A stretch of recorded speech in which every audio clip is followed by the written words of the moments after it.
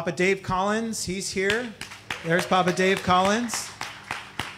Thank you so much for being here. I'm looking around to see if I have any other W colleagues, but I think we're the only ones that made it today. And uh, just before we start, I wanted to showcase for you we have a great, great master's degree program that is starting in a few weeks. On July 25th is the orientation, and it's a master's in healing and deliverance and spiritual warfare. Come on. Master in healing, deliverance, and spiritual warfare. How many of you, that sounds like a good master's degree program? Yeah, right. Yeah, come on. It's uh, open for practitioners. Uh, what makes you eligible for that program? Are you practitioner? Are you a practitioner? Are you engaged in healing rooms, deliverance ministry, inner healing, any of those types of ministry?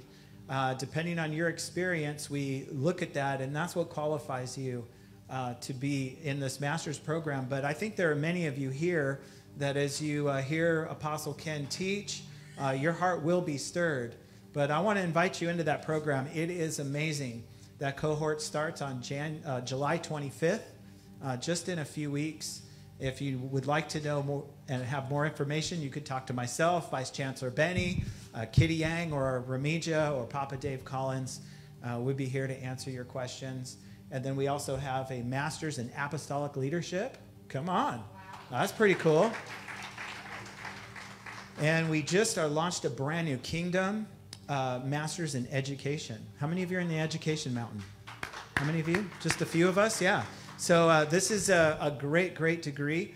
Um, uh, as all of the um, the best practices of an accredited program, but with a kingdom and apostolic influence. Uh, that's how it's contextualized. It's very, very awesome.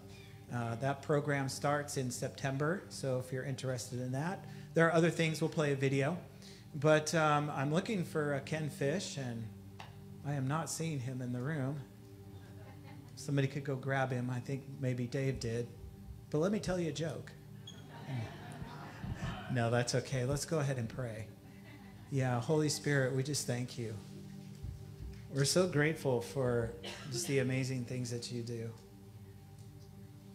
God, we we just pray that you would open, open our heart, open our mind, uh, Lord, to, to the deeper things this afternoon.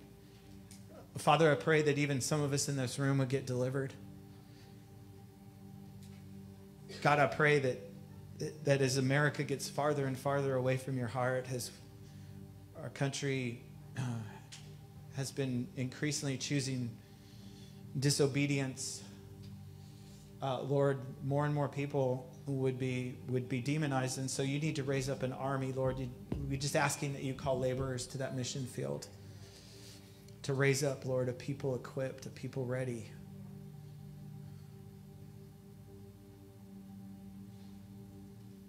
In Jesus' name, amen.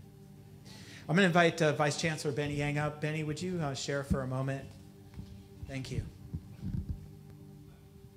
Uh, Thank you. Uh, I would like all the Wagner students, can you stand up? All the Wagner students in school. Okay, give yourself a warm round of applause. Thank you so much. And also everybody online that uh, this is one of the residential intensives uh, intended for Wagner students, also open for everybody else.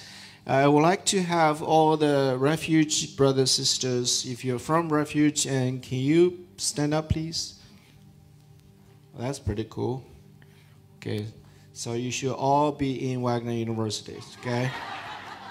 All right, take a seat. Thank you so much for your generosity and warm. Uh, you know, let us use your venue and be partner with you all the time. You're just your real brother, not a fake brother. So. You're good. And everybody else, as you're not Wagner University students, you're not in Refuge Church, and please stand up. That's welcome you to join. You know, welcome you to join our, you know, the the training session for today. Thank you so much for coming, and may God bless you and give you a breakthrough for today. That uh, I would like to do a little bit introduction uh, of Ken Fish, which is one of the Wagner University professor. That Ken has a long record ministry and business experiences. Uh, He's a Princeton Princeton graduate and in the corporate world and in the highly executive positions in the large corporations. And also he's been working with the Vineyard Movement with John Wimber for decades. So he is known for the healing and deliverance and spiritual warfare spectrum, but actually he has more other heads, which is a strategic, he's a strategic thinker He's a great Bible teacher, which many of you already experienced this morning. So without further ado, let's stand up and give up so much welcome and then Wagner welcome for Ken Fish. Thank you, Benny. Thank you.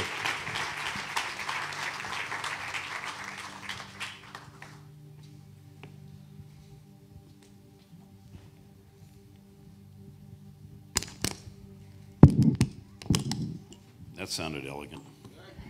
Crash, boom.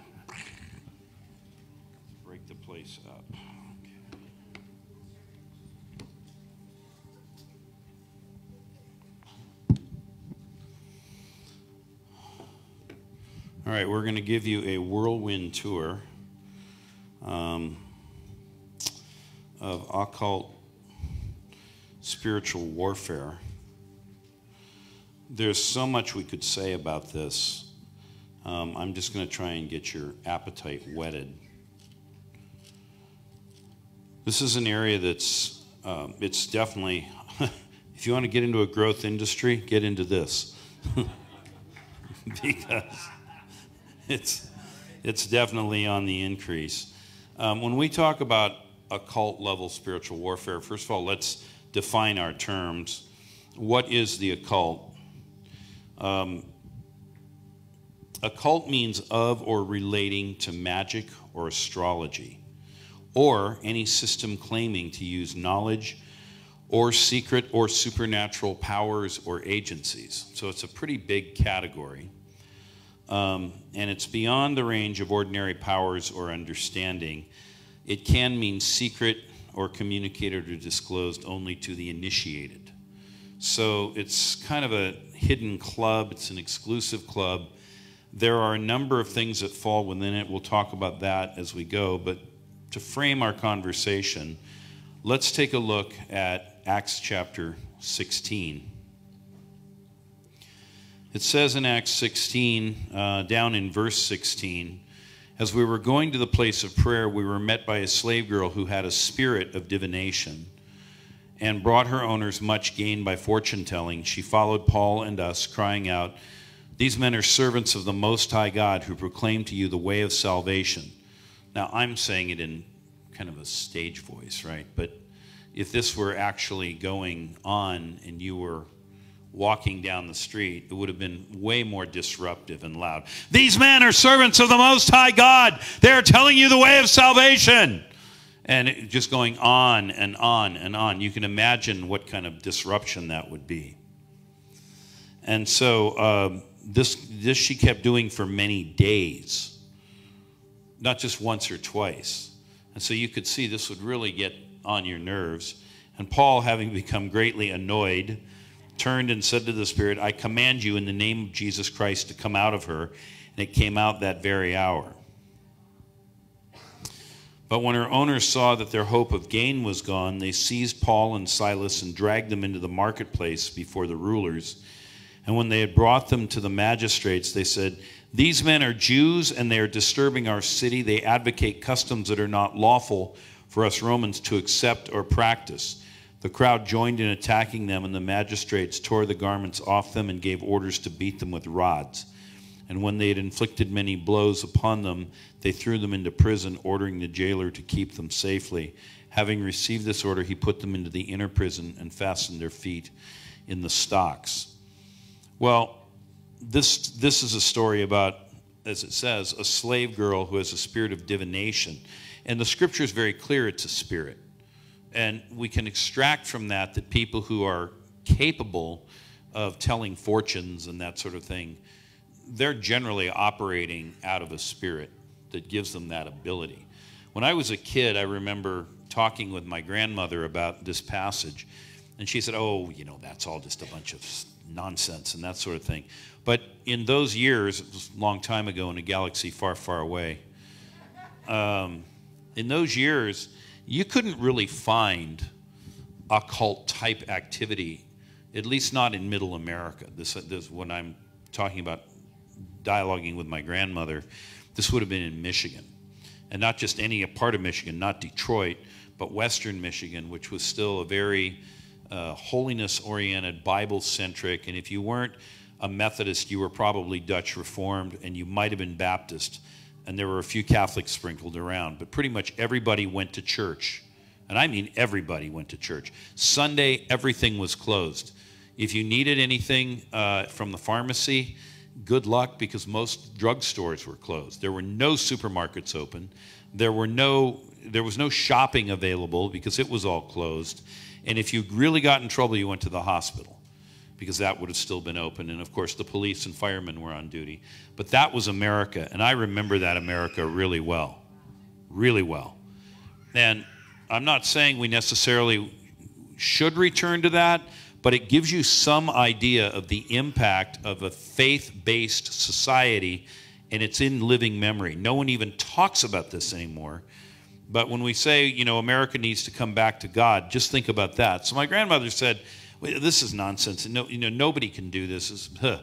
But um, I'm just, you know, looking around the room here, and I see Victoria Hernandez sitting on the front row. So Victoria is a good friend of mine, and we live in approximately the same part. Well, you've moved now, haven't you? You're, oh, you're still in Lomita. Okay. So we live in about the same part of town. And as you come down the hill from where I live, uh, there are, that I know of, five uh, astrologers, fortune tellers, something like this. They might have a sign up that says Madam somebody or other. There's a gigantic occultic bookshop, bigger than this whole sanctuary, that's uh, open just, again, come down the hill, take a left, and it's down about 200 yards. It's called the Psychic Eye. Um, this stuff is all around, and you may not be paying attention to it, but trust me, a lot of other people are. So, um, there's the America that I described. There's the America that I just described, which is the more current America. And I remember hearing a talk that um, a woman named Elizabeth Schori gave. And at the time, she was the presiding bishop of the Episcopal Church of the United States. And uh, she was talking about this story, but she was doing it in, of all places, Colombia. And she was saying in the in the translated talk that this Paul, he's really showing his, his male dominance and the Western worldview. I mean, it's all laced with all that kind of, you know, CRT type language. But his dominance, because he didn't recognize the spark of the divine in this poor slave girl, and he wanted to snuff it out because of his patriarchal religion. She literally said this and then she was, you know, welcoming the Colombians to continue practicing their witchcraft and voodoo and other spiritually based society. But this is really clear a spirit of divination. It's, a, it's an evil spirit that gives that ability. And then when he commands it to come out, it comes out. And then it says again when they realized the hope of money was gone because they knew where that power came from. So in societies that are not Christian, this sort of thing is very, very common. And in Christian societies, if they're thoroughly Christianized, as the America that I described to you from my own childhood, again, I'm a living witness. I didn't read this in a magazine, I'm telling you what I lived. Um, in a society like that, these things are, well, I don't know about hunted down and exterminated, but they're pushed to the margins, and pretty much everyone understands stay away from this. Don't do this because it's contrary to the ways of God. And we'll talk about that more in a minute. So, um, this is our slave girl. And then the other passage I want to take you to is also in the book of Acts. It's only a couple of chapters later. It's in Acts chapter 19.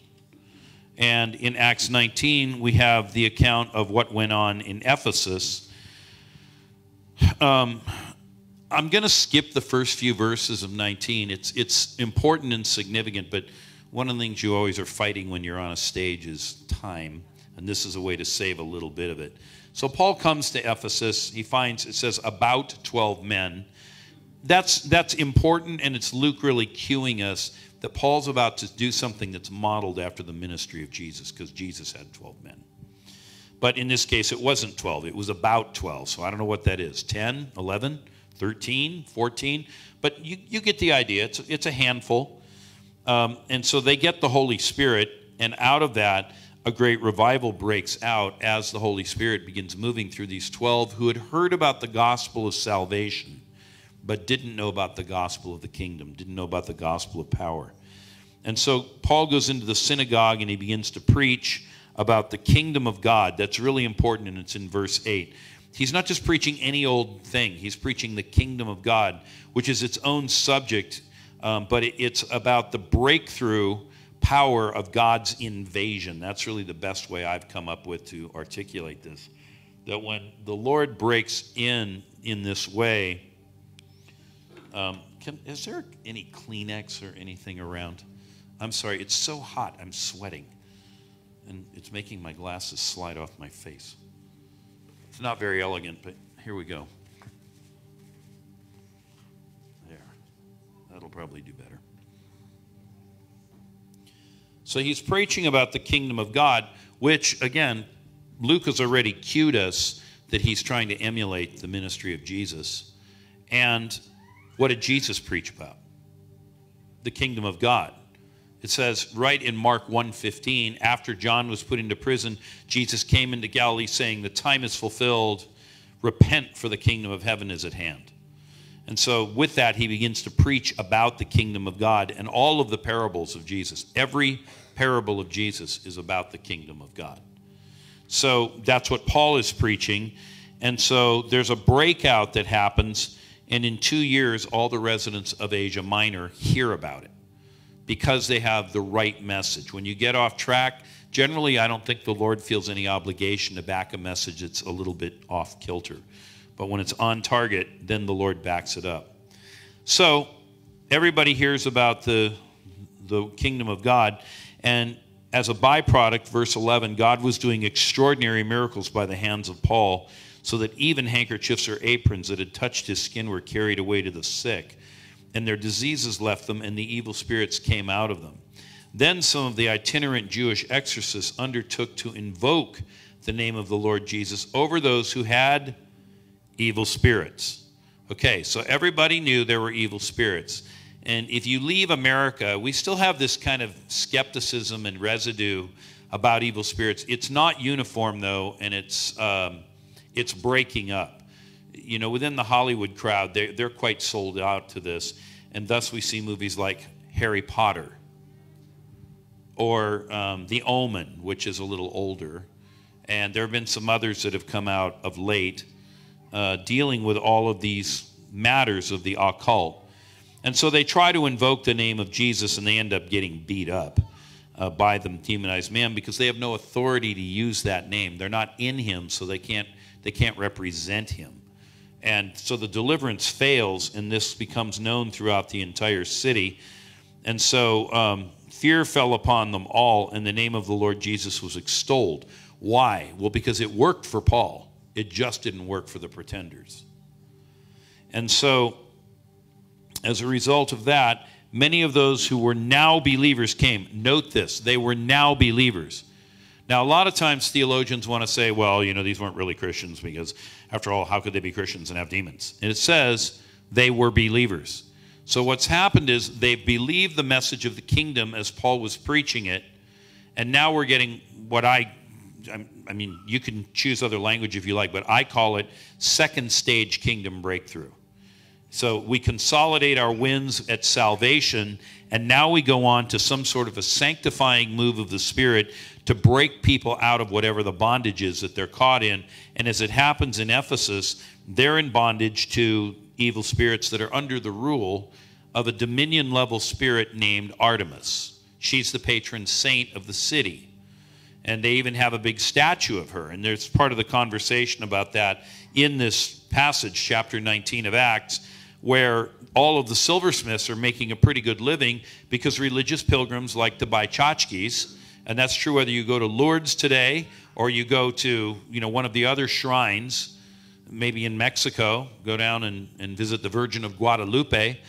Well they're doing the same thing in ephesus. It's the same behavior just in a different context. In this case it's western turkey today and they're under the influence of a spirit named artemis so they come and they confess their practices and divulge them now this means they're both acknowledging but they're also kind of laying it out on the table all that I've been into, and here's how the secret workings go.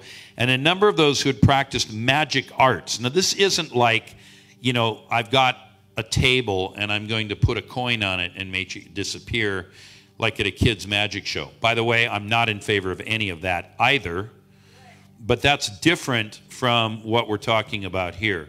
These are the black arts. This is very powerful witchcraft that they are involved in and it's called the magic arts. They bring their books and they burn them in the sight of all. Why are they doing this? Because the Christians are Nazis and want to have a book burning. No, that's not right. That's what the left would have you believe.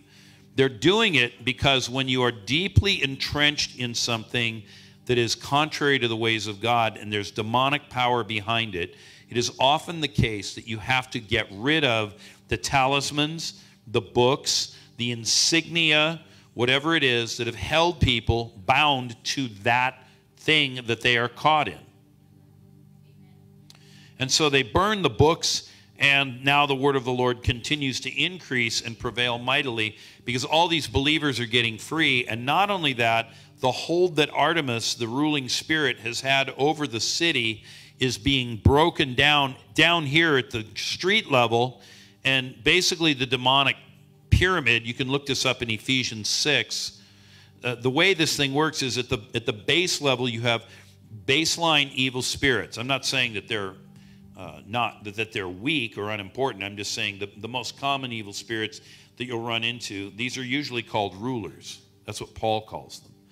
And they have names like lust and drug addiction or tarot and uh, Artemis worship. So that's an authority. And then above it, there will be a ruler. Now, rulers are, they, they oversee clusters of authorities. And if you want to think of it this way, authorities are like privates and corporals, and rulers are like sergeants in an army. And so, the, you know, the sergeants keep the platoons together and keep things going. But when you move beyond that, you're now getting into the commissioned officer ranks, and the dominion level spirits are the commissioned officers and dominions are not world spirits, but they are very, they're regional, and their region can vary quite a bit. I've, I've run into dominion level spirits in places like Taiwan, and they might comprise much of a city block, but maybe not even a city block. On the other hand, I've run into dominion level spirits. We ran into one in Central America a few years ago, and it ran from, it, it had dominion from central uh, Costa Rica all the way down into northern Colombia and Venezuela. And when that thing was broken, the power of it was broken, we had a massive move of evangelism with, with literally hundreds of people coming to faith in the immediate aftermath for days in all the meetings we were leading. And a chain of volcanoes went active all the way from Central America into northern South America, and there were earthquakes, and we had to get off the mountain where we were praying. So, this story in Ephesus is also a story of the occult. the converts in Ephesus were under the influence of this spirit, Artemis. Her other name is Diana. And uh, she was more of a fertility goddess and the goddess of all living. And her, uh, one of her other names was Rhea. And if you're familiar with the name Gaia, we get the name Gaia from the extract of this. So, one of the big uh, trend lines that's going on in modern conversation about religion, and do not think in the church. I mean, in the right part of the church, or maybe I should say the wrong part of the church, this is a thing there too. But in general, Christians aren't going here, but the wider society has gone back to worshiping the earth. And so a lot of what you see, hi Judy, good to see you. Um, a lot of what you see in the modern media, um, how edgy do I want to be? A, a lot of this, a lot of this stuff about save the earth and be green and get our carbon footprint down and all of this if you if you're paying attention to it sure they've got what they call as science undergirding a lot of it.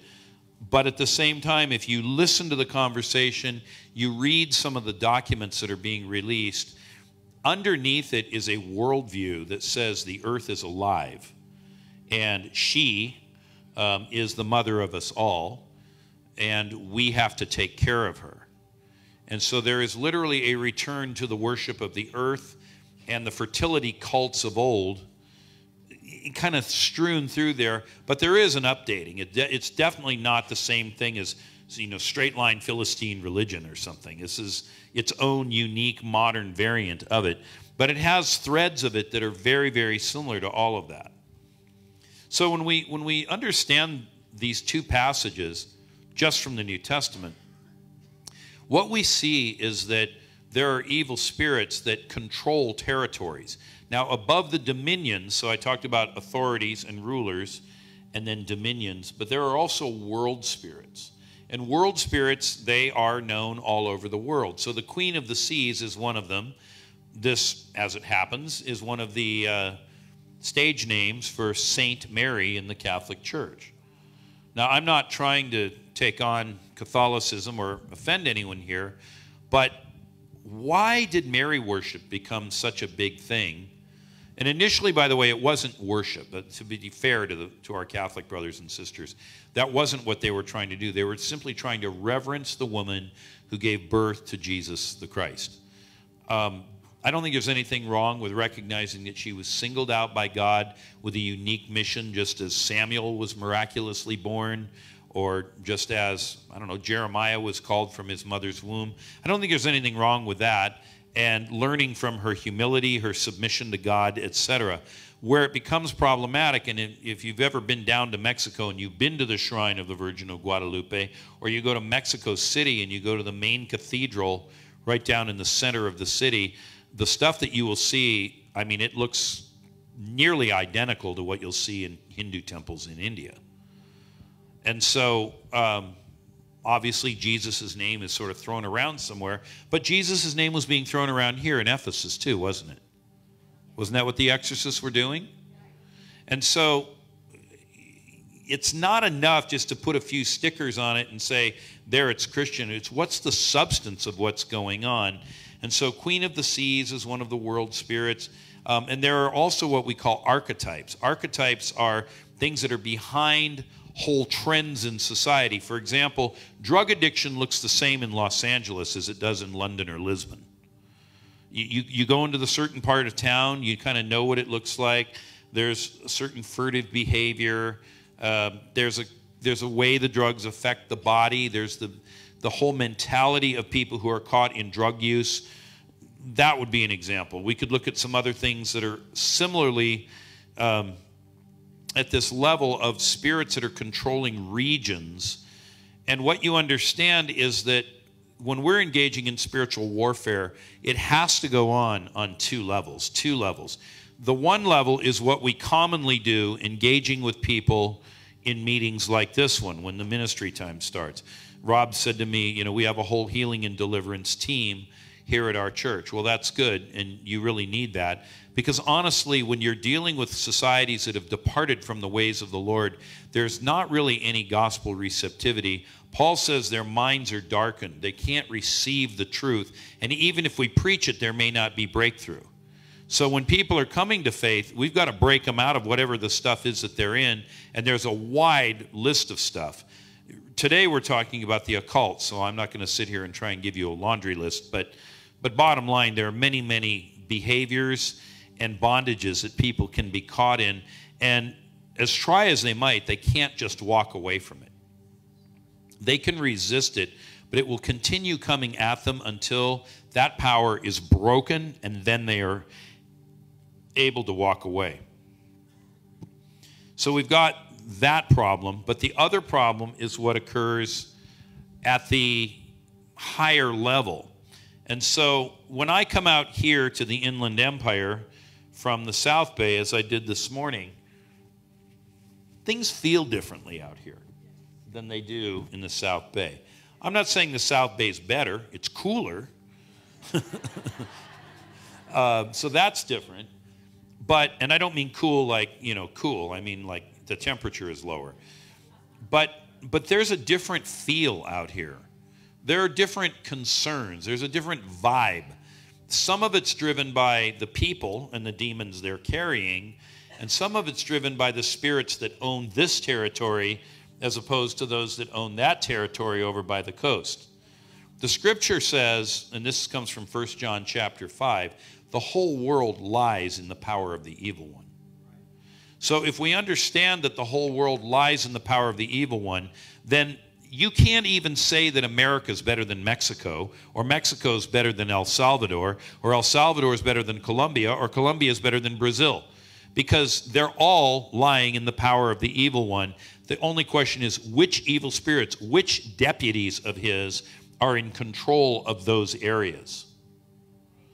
And the analogy that I think lays it out, although it's not as apt of an analogy as it was years ago, because people are largely forgetting World War II. And as a society, we've largely moved on from the sense of, I think, justifiable pride that our country had at the conclusion of World War II for having rescued the earth, which we did. And people can say, oh, you're just caught in that American exceptionalism and racism. No, I'm caught in facts. Facts are stubborn things.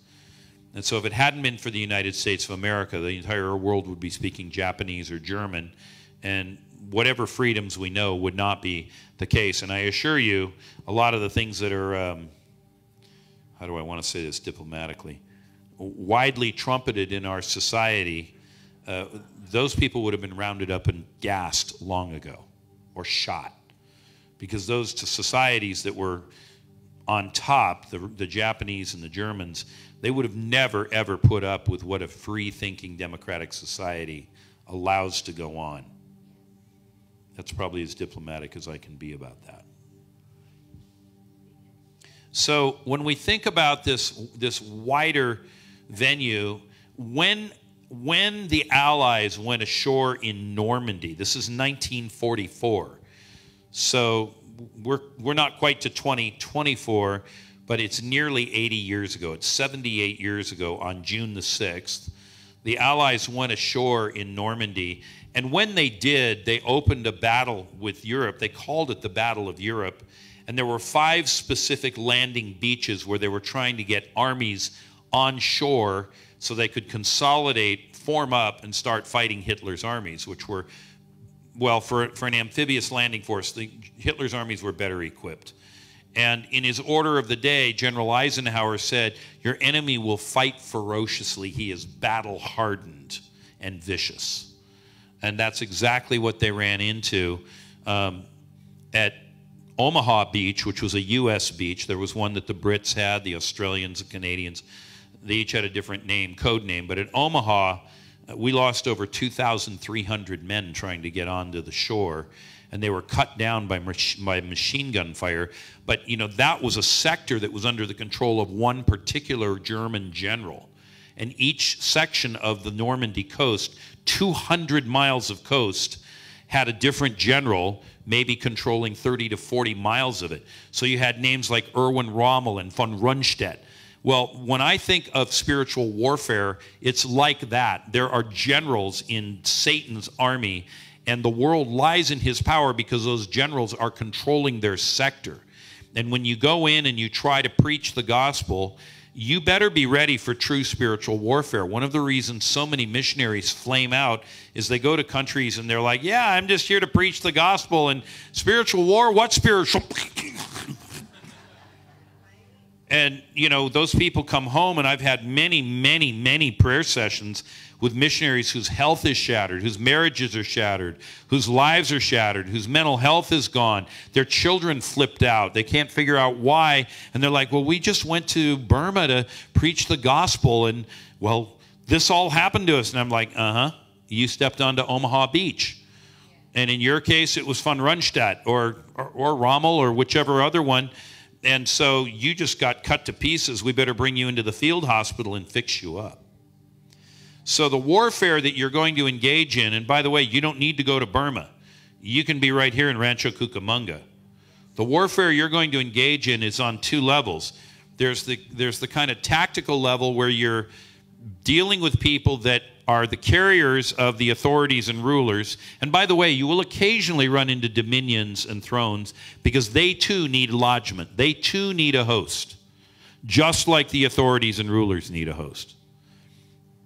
But they're a lot less common, and so the likelihood of any random Christian running into a dominion or a throne is reduced. It's not zero, and you do this long enough, sooner or later you're going to bump into some of this. It's just a question of who and when and how long. So you're going to go out and you're going to start preaching the gospel with signs and wonders, doing what Paul has been doing here in Acts 19 or earlier in Acts 16. You're going to do that, but at the same time, there will be these there will be these episodes of prayer, periods of prayer, where you actually need to pray for God to break things open. Now, there was a bunch of teaching that came out some years ago about how we go after these dominions and thrones, these high level spirits.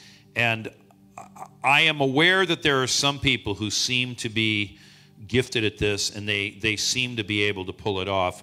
Um, Cindy Jacobs is definitely in that camp. Uh, I think Becca Greenwood's in that camp. But most Christians should not be doing this. And here's the analogy I want to give you. Let's go back to a war fighting analogy. In the United States Navy, we've got a lot of very fine people, and they do whatever their jobs are. Some of them are cooks on board ships. It's a fairly you know non-violent role. You're just cooking the food and making sure everybody eats and cleaning up afterward. But an army or a navy marches on its stomach, so it's a super important function. And I don't mean to demean it in any way. I'm just saying that's what they do.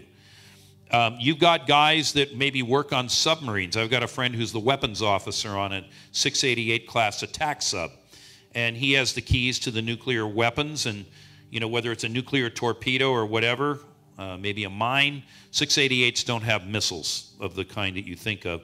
Those are on different kind of submarine. Um, but that's what a weapons officer does. When the when the commanding officer gives an order to fire, well, the weapons officer releases the weapons and fires them. You wouldn't be a modern warship if you didn't have a weapons officer who oversees that function. It's a central critical function. How about navigation? You better know where you're going, so you've got somebody on the bridge who does that. And we could go on. Let's let's take another one that's really obvious to everybody, especially with the new Top Gun movie out. Maybe you're a fighter pilot and you know you fly jets off of aircraft carriers all right that's a pretty important role too keeps the fleet safe prevents you know incoming planes and other things from causing havoc everybody's got a function and it's very very important and then when you run into somebody named geronimo codenamed geronimo which was what the cia designated osama bin laden and they identify him in a house in Abbottabad, Pakistan, Anybody see Zero Dark 30? Okay, you identify Geronimo in a house in Abbottabad. I don't want a weapons officer, and I also don't want a fighter pilot. I sure don't want the cook, and I don't need a navigation officer. None of them can do that job. I need a team called SEAL Team 6. And they're in the Navy too. They don't know how to drive ships and fly planes. But when you need to go in and do some serious killing, that's what you need. And so, in my mind, just as you would never send a pilot or a weapons officer or a cook or a navigation officer to go and take on Osama bin Laden in Abbottabad to insert in the middle of the night in some super secret helicopter, land, get in a firefight, and kill him. And by the way, come out of that engagement with zero lost on the U.S. side. Zero lost and there's a whole movie about this. You can you can watch the movie if you're interested in it. It's called Zero Dark Thirty. Um, well, when you need that, then that's what you need. And so, in my mind, there are people that do this kind of thing. I think Omar Cabrera in the um, South American revival in, in Argentina, he was another one who functioned this way. But by and large, most people aren't supposed to be doing this. And if you are called to it, you will know. Someone will say, How do I know? If you're asking, you aren't called. I, I really mean it. If you're asking it, yeah, that's prima facie evidence this isn't your job. But there will be times, there will be times that even for the rank and file, they're not going to go after those high level spirits, but those high level spirits will come after them.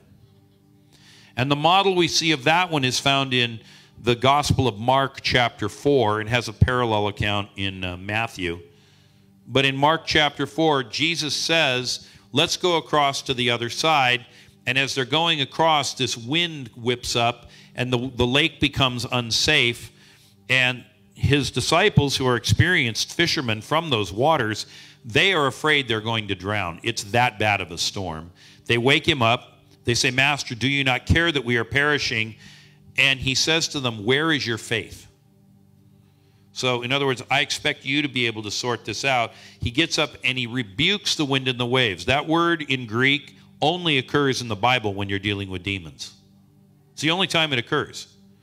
So, these are demons that are attacking Jesus, and it's before he can get to the other side. As soon as he gets to the other side, the first thing that happens is the Gadarene demoniac, the man with 6,000 demons, shows up needing deliverance. So, presumably, by inference, it doesn't explicitly state this, but presumably there was demonic intelligence that was trying to stop Jesus from getting there because they knew when he did, the fight was going to end and they were going to lose. And that's why Jesus rebukes the wind and the waves. It isn't just some random stop it and now let's go work a miracle of the weather. It's this is a strategic level engagement, but no, Jesus didn't start it. He's just in the boat asleep. And when the spirit attacks him, and I think I think Legion was a dominion level spirit that had sway in this particular case in Mark 4 and 5 over the entire district known as the Decapolis, which is a Greek word meaning 10 cities. This is a confederation of cities that were in league with one another, very much modeled after ancient Sparta, which was a confederation of cities. And by the way, the Decapolis, I said, is a Greek name they were all founded, all 10 of those cities were founded by Alexander the Great, a Greek king and general. And so that man, Legion, uh, or that man with the spirit called Legion, appears to have been the host of the dominion level spirit over all 10 of the Decapolis. And after he is freed, Jesus says, Don't come with me. I know you want to, but stay and tell everybody what God did for you because now this demonic covering has been blown off. And with it having been blown off through the deliverance of a man, not strategic level warfare, through the deliverance of a man, now that that has happened, the gospel can go forth. And thus, in Mark chapter 8, when Jesus returns, we now have 4,000 Gentiles, Greeks, who show up to hear the Jewish Messiah, and presumably they all have their attendant women and their children. So I don't know how big that meeting was, but it might have easily been 16, 20,000. Figure for every man and woman, that gets us from four to eight. And then however many children, I don't know, family sizes were bigger back then, but maybe 32,000 if it's four kids per family. I don't know, make your own assumptions about what the family size was, but you get the idea here. And so that becomes a model of warfare of this type as well. So we're talking about spirits that we deal with here, and we're talking about the ones that we deal with that are of a higher level, that are um, in the second heavens, is the language that most people use. Now, just to clear the air on one point, and then we'll keep going.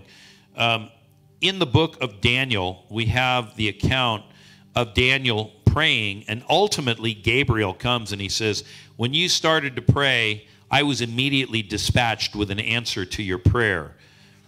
But it took me 21 days to get here because the prince of Persia opposed me. And there's been a lot of hay made of this. Uh, we can turn back to it and, and look at it if you'd like to do that. I think I still have my marker in Daniel from this morning. Yeah, there we go. So Daniel begins to pray, and eventually, Gabriel brings an answer. This is all found in Daniel chapter 9. While I was speaking and praying, confessing my sin, and presenting my plea before the Lord my God for the hill, holy hill of my God, while I was speaking in prayer, the man Gabriel, whom I had seen in the vision at the first, he'd seen Gabriel earlier in the book of Daniel. It was a different angelic visitation. He came to me in swift flight at the time of the evening sacrifice, and he made me to understand, speaking with me and saying, O Daniel, I have now come out to give you insight and understanding. At the beginning of your pleas for mercy, a word went out, and I have come to tell it to you, for you are greatly loved. And anyway, he talks about how the prince of Persia oppo- opposed him. So the prince of Persia is not a world spirit, it's a dominion level spirit. But what do you think the territory is that it controls? Very good, Persia. Everybody gets a gold star. So the Bible's not that hard to understand, is it? Unless you have a hard heart or your eyes are blind and your ears are closed and you refuse to accept truth, which is the case with many people, including those that Jesus had to deal with. So many people say Daniel was warring against the prince of Persia. This is not correct. Daniel was praying and confessing the sins of his people and he was asking for an answer to something, and Gabriel gets dispatched. That's pretty good when Gabriel's sent to you. He's one of the four archangels. So, I mean, that's favor. But we already know Daniel was a righteous man, and I think part of why he had that kind of pull in heaven is the very stuff we were talking about this morning. You, you don't get one without the other. And so Gabriel comes and explains to him a bunch of things. And then uh, he mentions this prince of Persia. But Daniel's not actually warring against the prince of Persia. What's happening is his prayers, though, are empowering angelic armies. And as it happens, our father looks down, he goes, Hmm, Gabriel's not getting through. Looks like he needs a little help against the prince of Persia. Hey, Michael, why don't you take three divisions of angels and go down there and just end this fight now? And so when Michael, the archangel who oversees the Jewish people, when he comes, boom. So it's an angelic war, but actually, Daniel doesn't have any sense of what's going on about it. Or if he does, it's not clear from the pages of Scripture. It's just something that, you know, maybe was he could sense it. And Gabriel explains everything to him. So, no, Daniel is not engaging in strategic level warfare, SLW or SLSW, strategic level spiritual warfare. All right, so this is kind of our cosmology, this is our worldview. And as I say, from time to time, you may be drawn into situations where in prayer we need to remove something in order to see something else occur. Um, I'll give you one other verse that I think is telling and quite interesting. If you go back to Isaiah, um, Isaiah says in chapter 25, and in verse 7, well, we'll go to verse 6 just to give it a little bit of context. In this mountain, the Lord of hosts will make for all peoples a feast of rich food, a feast of well aged wine, of rich food full of marrow, of aged wine well refined. Well, which mountain is it talking about? The mountain of the house of the Lord. So it's talking about the Temple Mount, or maybe just diagonally across from it, a mile or so away, Mount Sion, Mount Zion. And it says, And he will swallow up on this mountain the covering that is cast over all peoples, the veil that is spread over all nations. Now, what this is talking about is that demonic layer, and it's like a web or a net. When you talk to people that are true visionaries, intercessors, spiritual warfare people, many times they will describe this. I was in um, Knoxville, Tennessee over the 4th of July weekend. And of all things, I went to a large Messianic Jewish synagogue in Knoxville, Tennessee. And it was, it was a big meeting, and the Lord blew the place up, and it was great. Um, but it was funny. I had a guy traveling with me that I've known for years. He hasn't been able to travel with me for a while because they started a family and he was busy being dad, but his wife let him come out and play. So we were driving over there, and he said, you know, I've talked to several friends that are intercessors in this region, meaning the far east of Tennessee, and they all say that there are three giant spirits that sit on these three mountains. I don't know the names of the other two. He told me, and I've forgotten them, but they're prominent high points, high places uh, within that eastern Tennessee region. And then there's one called Lookout Mountain, and the state line between Tennessee and Georgia goes right through it. And, you know, it's a pretty tony neighborhood to live up on Lookout Mountain. And it's called Lookout Mountain because you can see a long way from up there. But anyway, he said these intercessors have told me that between Lookout Mountain and these other two, that they always see this thing like a web or a net or some kind of something like that that is spread out over the whole area, and it's part of what makes Knoxville the most evil city in Tennessee. And I said, Yeah, that'd be about right. And then I showed him this verse, and he's like, I had no idea that's in there. So again, we've got warfare on the ground, and then we've got what's going on in the in the heavens. And I said, So the Lord says He'll rend the net. And in, in this particular passage, it's referring to the ultimate rending in the final days of battle on the earth. But I think there are regional breakthroughs. I think the paradigm still holds. And so, you know, some of them are praying not against the demons as much as that God would rend the net, that He would, here's a word, and you would all recognize this phrasing Oh, that thou wouldst rend the heavens and come down. Well, split the sky, yes, but also pierce through that veil that is over Rancho Cucamonga or the Inland Empire and touch down that the power of God would be released, that the gospel would go forth, that's valid praying. And if you would do that, uh, maybe before you do your next evangelistic outreach, it could be that you would see a higher level of effectiveness. Way back before anybody was even teaching on strategic level warfare, um, there was a man named D.L. Moody and he had an intercessor that he would send ahead to any place he was going to do a crusade. This was in the early 20th century. People didn't really have supernatural worldviews. But this guy would go and he would pray and labor that the Lord would break through. And then Moody would come and he would have these incredible harvests of people because of that power of intercession. So that's what's presupposed in our worldview. Now let's talk about the occult.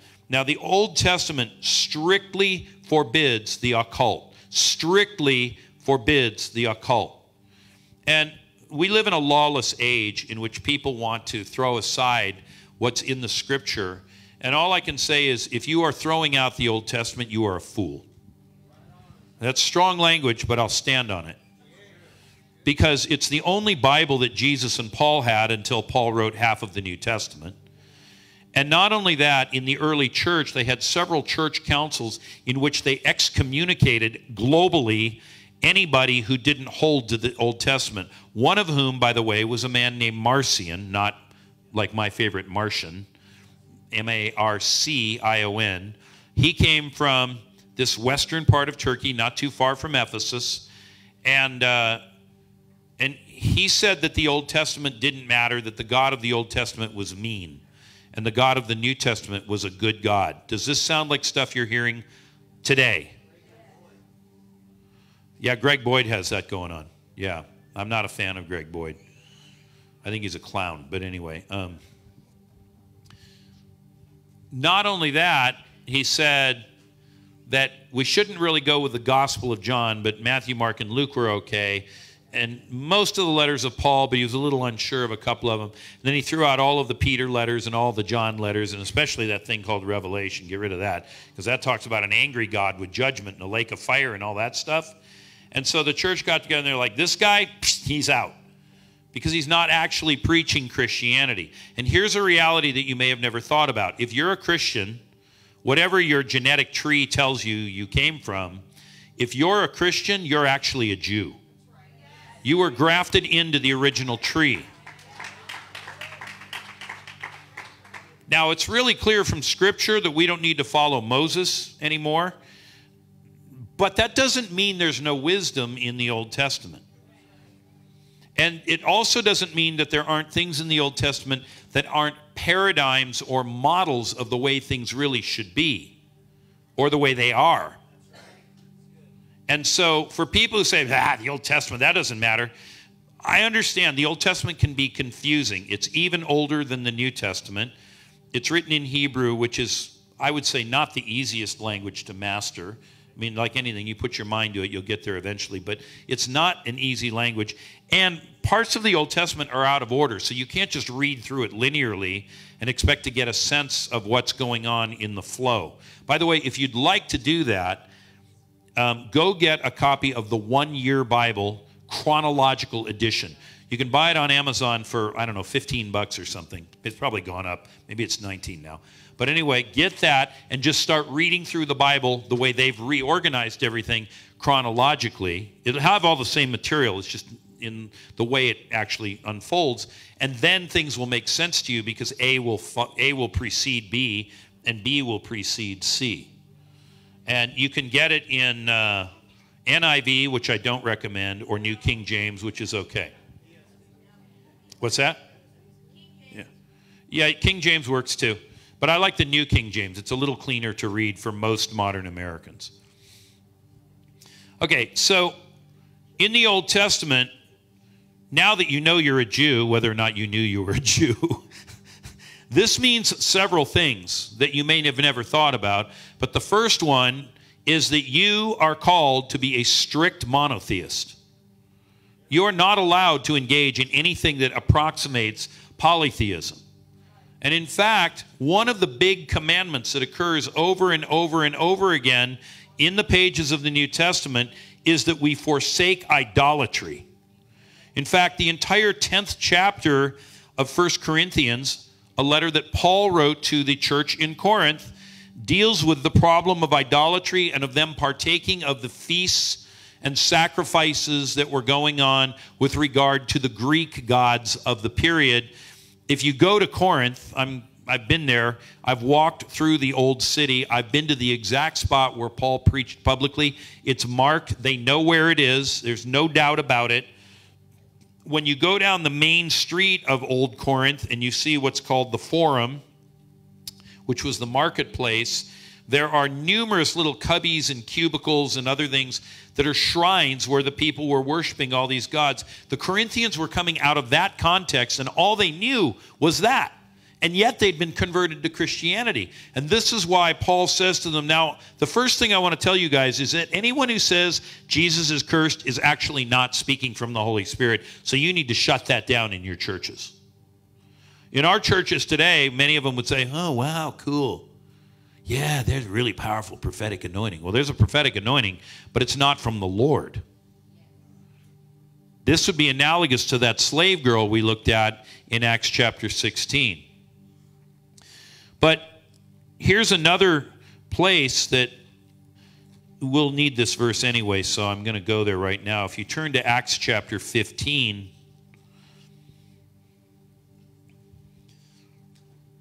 the church is gathered to debate what are we going to do with all these Gentiles? They're coming in. Do they have to follow Moses? Do they have to be circumcised? I mean, what does it really mean for them to come in and join us? And so, Acts chapter 15, verse 19, therefore, my judgment is that we should not trouble those of the Gentiles who turn to God, but should write to them to abstain from things polluted by idols. Bang, there it is. No idolatry, no polytheism, no worshiping other gods. Because if they're eating things that are polluted by idols, they are engaging in idol worship. That's part of how the game is played. You go to the feast and you eat the food. This is really underneath it part of the, the logic of what we have with the Lord's Supper.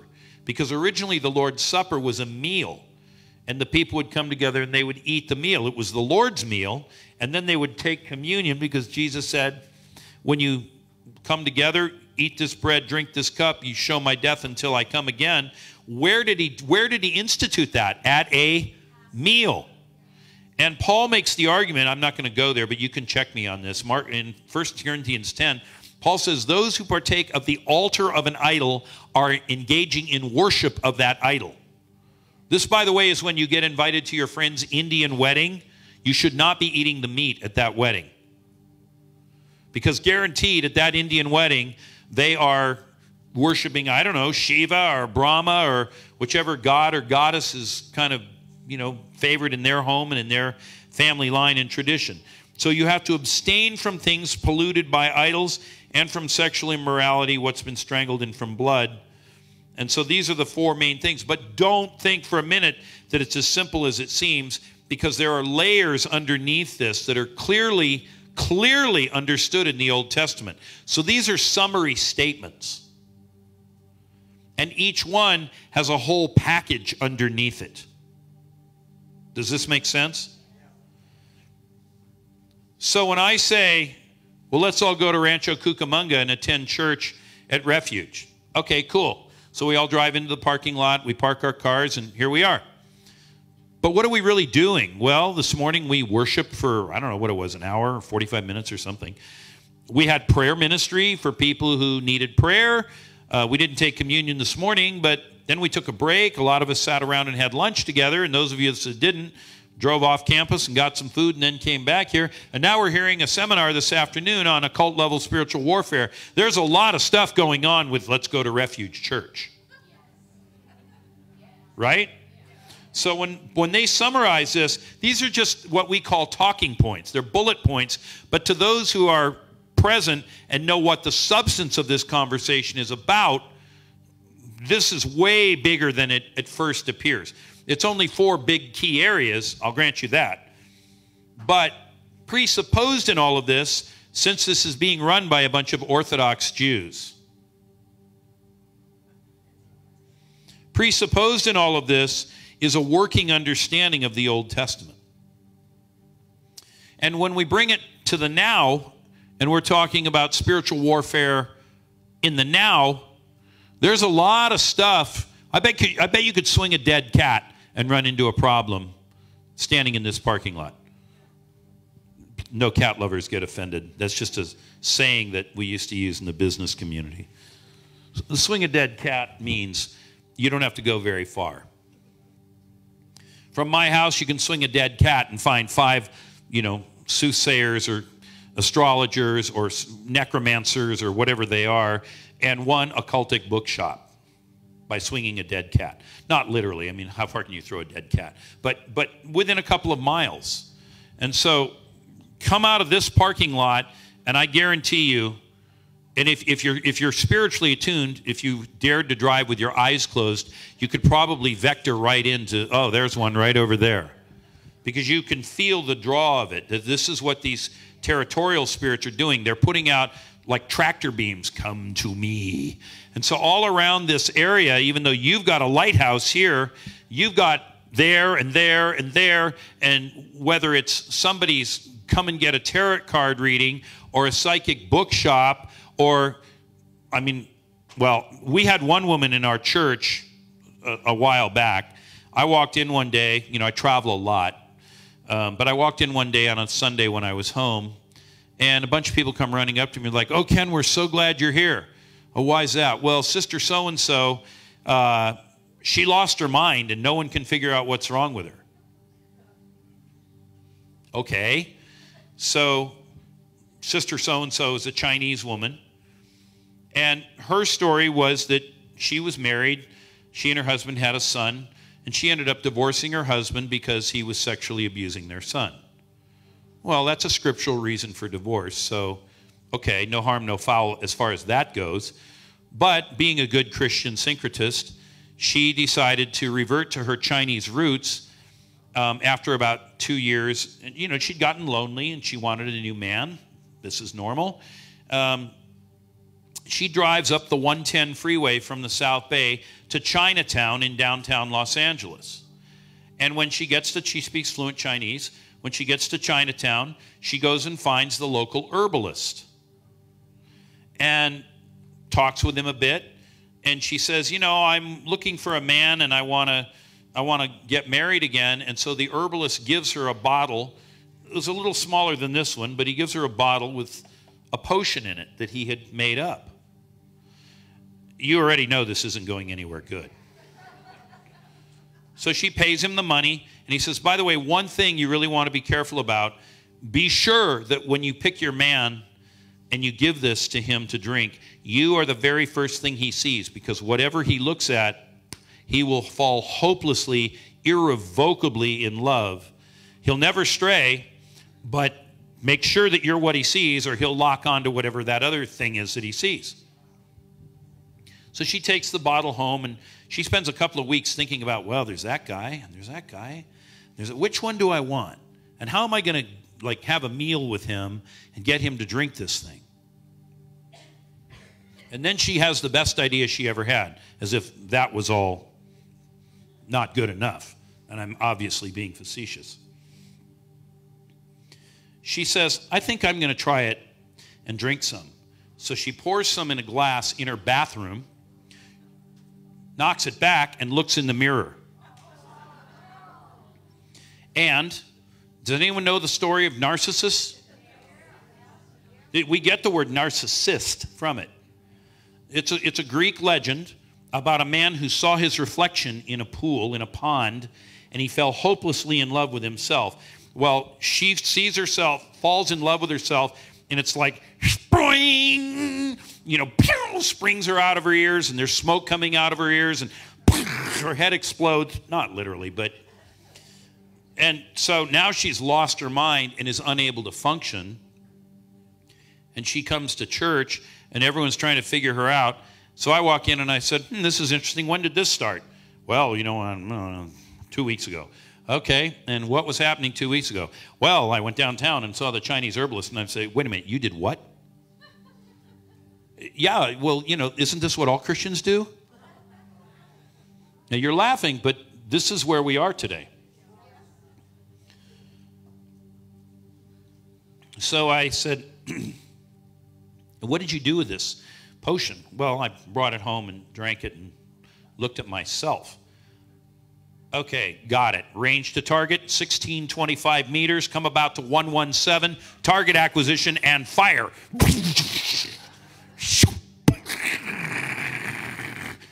So we got rid of the evil spirits that had come in through the drinking of that potion. Was she in sin? Unquestionably. Was she a fool? Unquestionably. Is she paradigmatic of the way many modern Christians are? Unquestionably. Christians are going, I'll give you another story. We're talking about occult level spiritual warfare. I ministered in a church in Huntington Beach, California, a Presbyterian church no less, with a very godly, spirit filled pastor who is a close friend of mine. And he had me in to do kind of a small group session for two days with his senior leadership team, his deacons and his what they call session, um, some of his trustees, the board. So we're all together, and they uncharacteristically, uncharacteristically have a very open culture. They, they'll share kind of anything among themselves. And so at one point in that couple of days, I'm talking to them, and this woman is sitting right down here on the front row. And it was a smaller room because there's only 30 of us or thereabouts. And I had a lower platform than this, it was just kind of a step. So this woman's sitting right here, and she kind of puts up her hand. She says, um, I have a confession to make. Okay, true confessions. What is it? And she says, Well, I've been an elder in this church for 30 years. Uh, I'm thinking, okay. do, do, do, do, do, do, do. and she says, during all of that time, there's not been a week that has gone by when I have not gone to the astrologer and the soothsayer to get my palm read two blocks down the street. And I turned to Gary and I said, You want to know why your church hasn't grown? This is what, in military language, we call the fifth column. It's an invasion inside the camp. Well, the Holy Spirit, I mean, no one even did anything. It was like, Almighty, Almighty, this is the PBR street gang.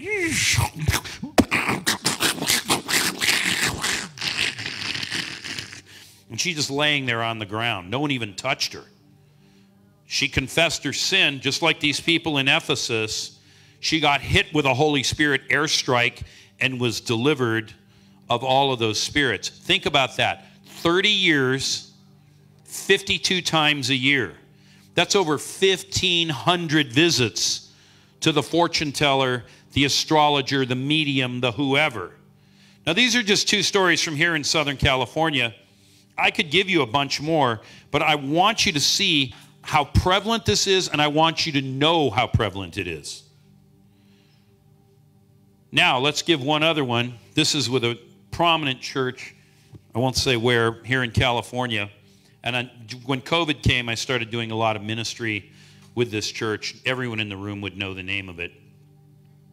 And I was ministering among a lot of their leaders, lay leaders.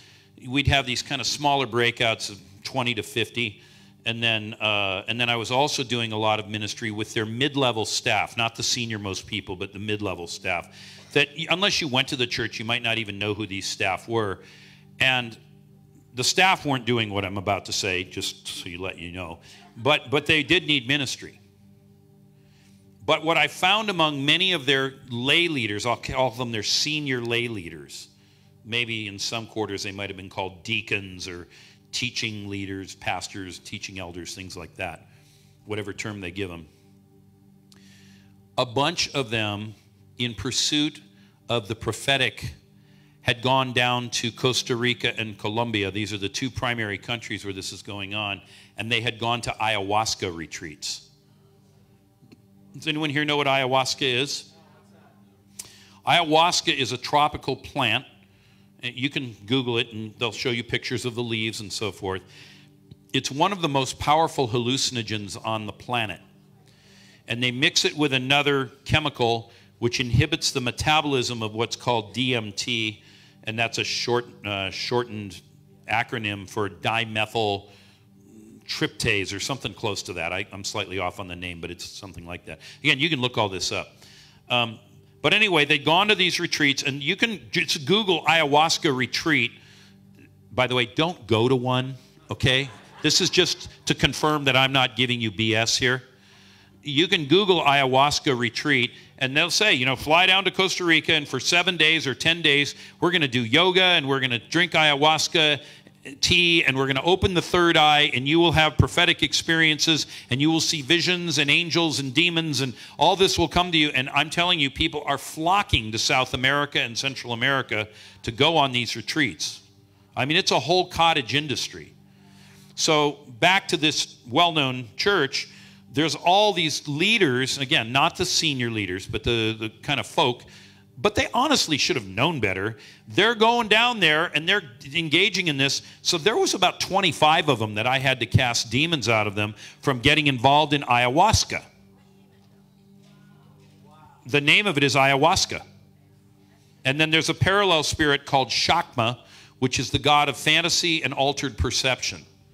So those two are the like biggies, but there could be some subsidiary stuff.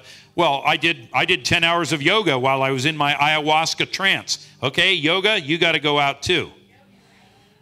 And you know, this is another thing. You try talking to Christians, especially in places like Nashville. I'm sure there's no problem with it in Rancho Cucamonga.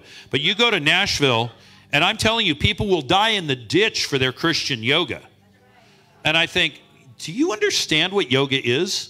It is the worship of Hindu gods. It is literally putting your body into prayer postures that those Hindu gods prescribed thousands of years ago in order to connect to the cosmic consciousness. And you're a Christian, you are uniting your body with a demon. And Paul calls that spiritual whoredom. And this is where the church is today.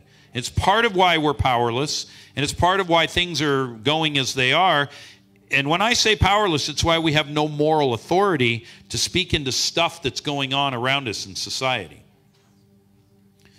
So, back to the Apostolic Council. All of that's underneath this single prohibition against idolatry. But you may not have known it. And so, there's a lot of things that are out there in the marketplace today. They appear safe, but they're not safe. The Freemasons, a lot of people think they're just a social service organization the Mormons, which, by the way, came out of the Freemasons, but they have their own heresies, uh, including that Jesus and Satan are brothers and that Jesus is created. The Jehovah's Witnesses. I've cast spirits out of people called the Aryan spirit. Don't think Hitler and Aryan. That's A R Y A N. This one's A R I A N. The correct one that you want to cast, well, you want to cast them both out but they're different spirits. The Aryan spirit's a racist spirit. The Arian spirit I'm talking about is a spirit that denies Jesus is the Son of God and eternally coexistent with the Father, as the creeds affirm and as I could prove to you from Scripture if that were my objective today. People who have engaged in Reiki. When I was out in Pomona on Mother's Day, there was a few of you who came to that meeting. There was a woman who came up in the prayer line, wanted prayer from me, and I've since seen her, and she's confirmed to me that she was completely set free she came up in the prayer line, and I don't know why I even asked her, but she said she'd gone for a massage, and after that, she'd been having this excruciating pain coming down her left side all the way to her knee, and she could hardly walk, and it had been about two months. And I said, again, not characteristic for me to ask this sort of a question, but I said, um, by chance, did the person you went to, was that a Reiki practitioner? Yes, he was. He told me he was. I'm like, okay, contact, range to target five meters, right? Headshot, right? Um, I said, why did you let him work on you if he told you he was a Reiki practitioner? Well, he told me he was a Christian. He even showed me his Bible. Okay, what does Paul say? In your thinking, you need to become wise. And Christians today are naive about the realities of the occult. So, Reiki is about energy field treatment, and it channels an evil spirit into you, allegedly to make you better. But in the devil's game, you either pay now or you pay later. If you pay now, that's one price. If you pay later, it's a bigger price because there's interest charged on it. It's kind of like your car loan or your credit card. So, she had led this Reiki practitioner work on her and she'd picked up a Reiki spirit, and I just said, Look at me. So I took her hand, she looked me in the eye, and I commanded that Reiki spirit to come out. And as I did, she literally crumbled like this on her left side, crumbled, fell to her knees. And I said, It's running not only from your hip down, it's also coming up, and you've got a point of it right here in your trapezoid. She says, Yes, that's right. So I commanded that thing to come out, and boom, she just falls out on the floor. Some of you were there and remember this happening. And like I said, I've seen her since uh, in a meeting that I led. And she was telling me that she's been completely fine. But she got that thing by going to a Reiki practitioner. So, all of this stuff that I'm describing about or describing to you, all of it, these are just examples to illustrate the teaching that I'm giving you, but all of it is off limits. All of it is a no fly zone, and you shouldn't be doing it. So, there's a lot of stuff that appears harmless. Reiki is an example of that. Acupuncture is another example of it. And I'm about to touch the third rail here, so my incinerated body, just scrape up the ashes, Rob. Chiropractic. Now, we're going to talk about that one in a moment, so I'm just going to leave that dangling there to hold your interest. So the occult is forbidden in Scripture. I want to run you through some scriptures. We never read these publicly anymore. And if it means we go a little long today, that's what it means. But it's just so important that we get these things read out and on the record. Now, there's a couple I'm not going to read, and I have them designated in my notes. Don't read this one, just reference it. So I'll give you these couple first that are references. You look them up yourself. These others, I'll take you through them.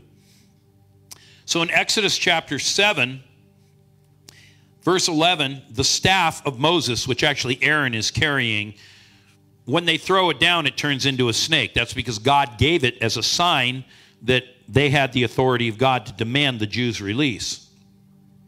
And it says that the magicians and sorcerers, through their magic arts, their secret arts, same exact kind of language that we saw going on in Ephesus, only it's 20 centuries later when we're in Ephesus. They're able to make their staffs and rods turn into snakes. Hmm. Counterfeit miracles. And then in 722, the Nile turns to blood, and they can do it too. False signs and lying wonders.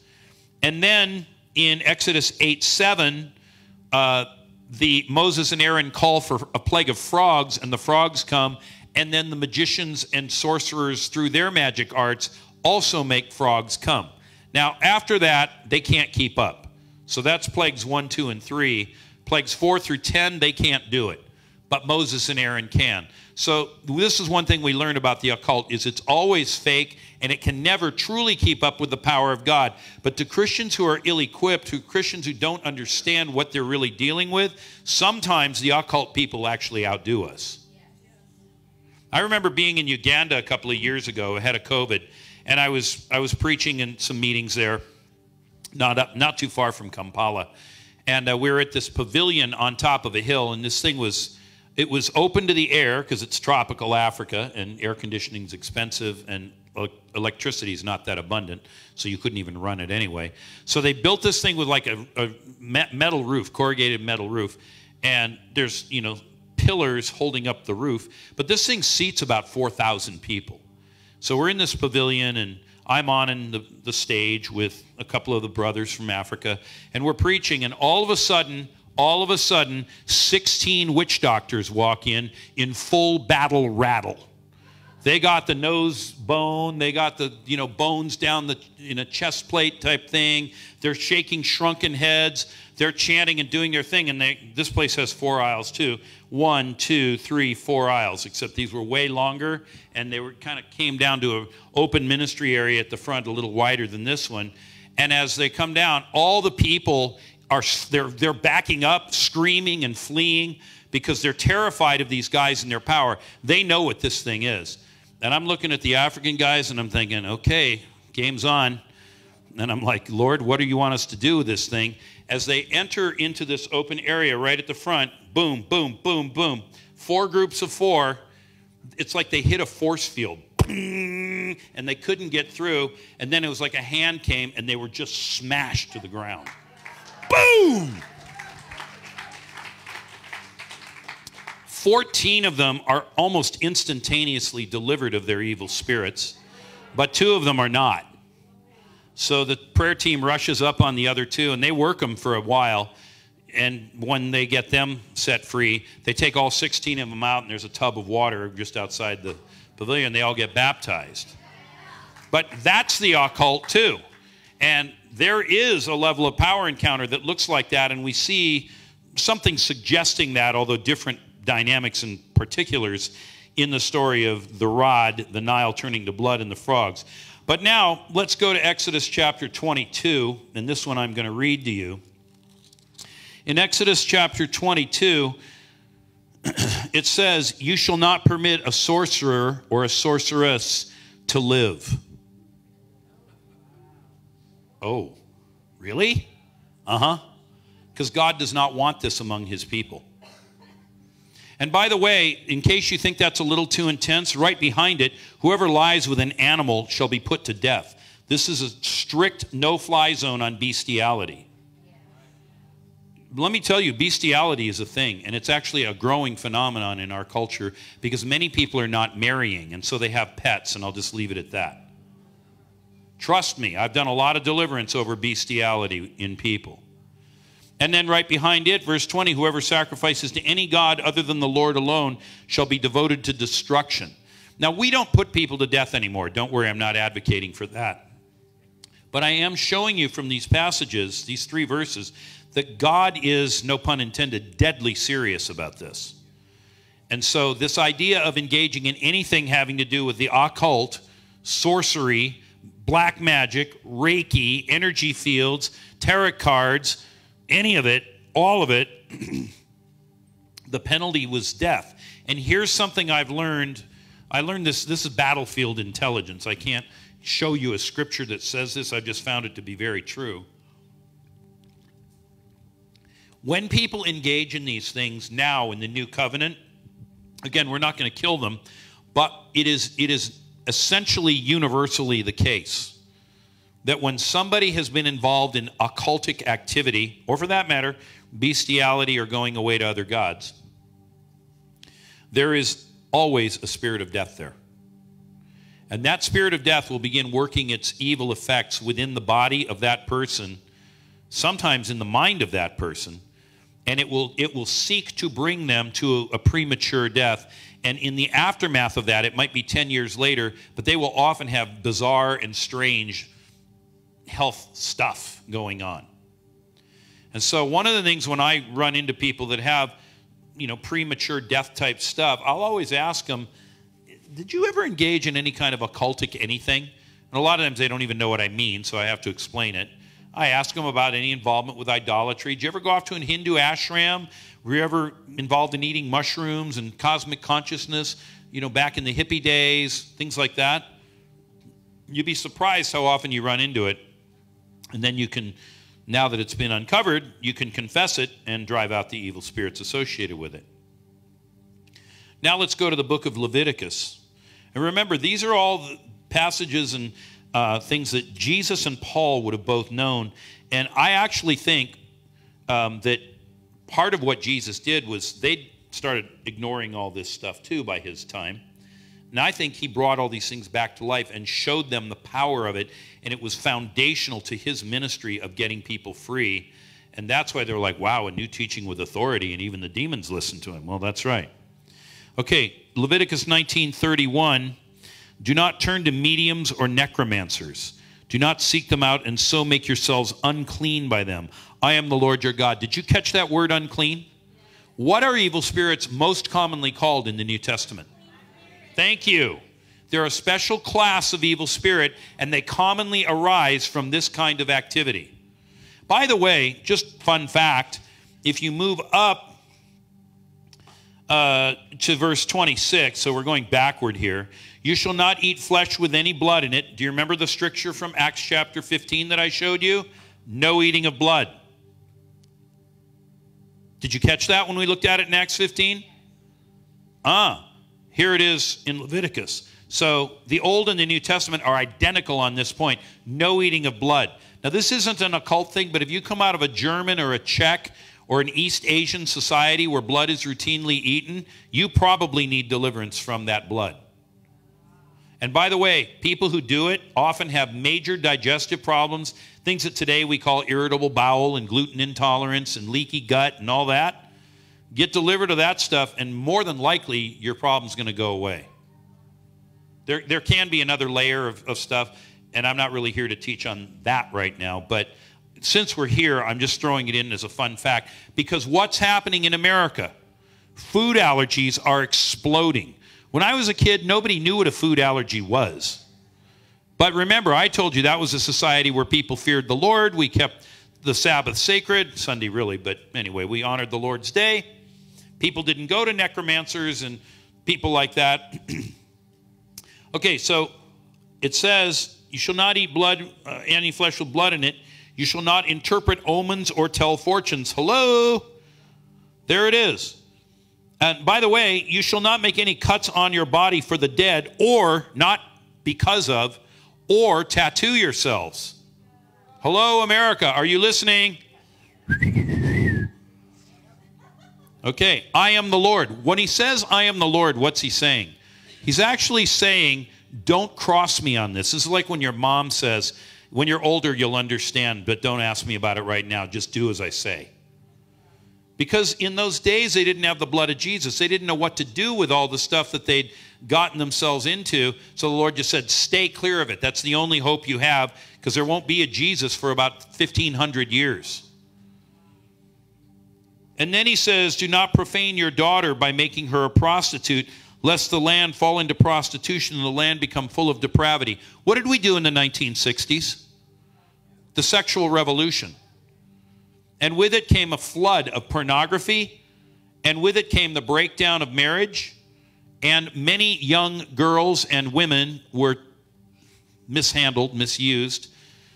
Their barriers, their walls were broken down. I mean, I could give you a whole teaching on this one alone, but their, their walls were broken down, and today we have what amounts to open prostitution in America.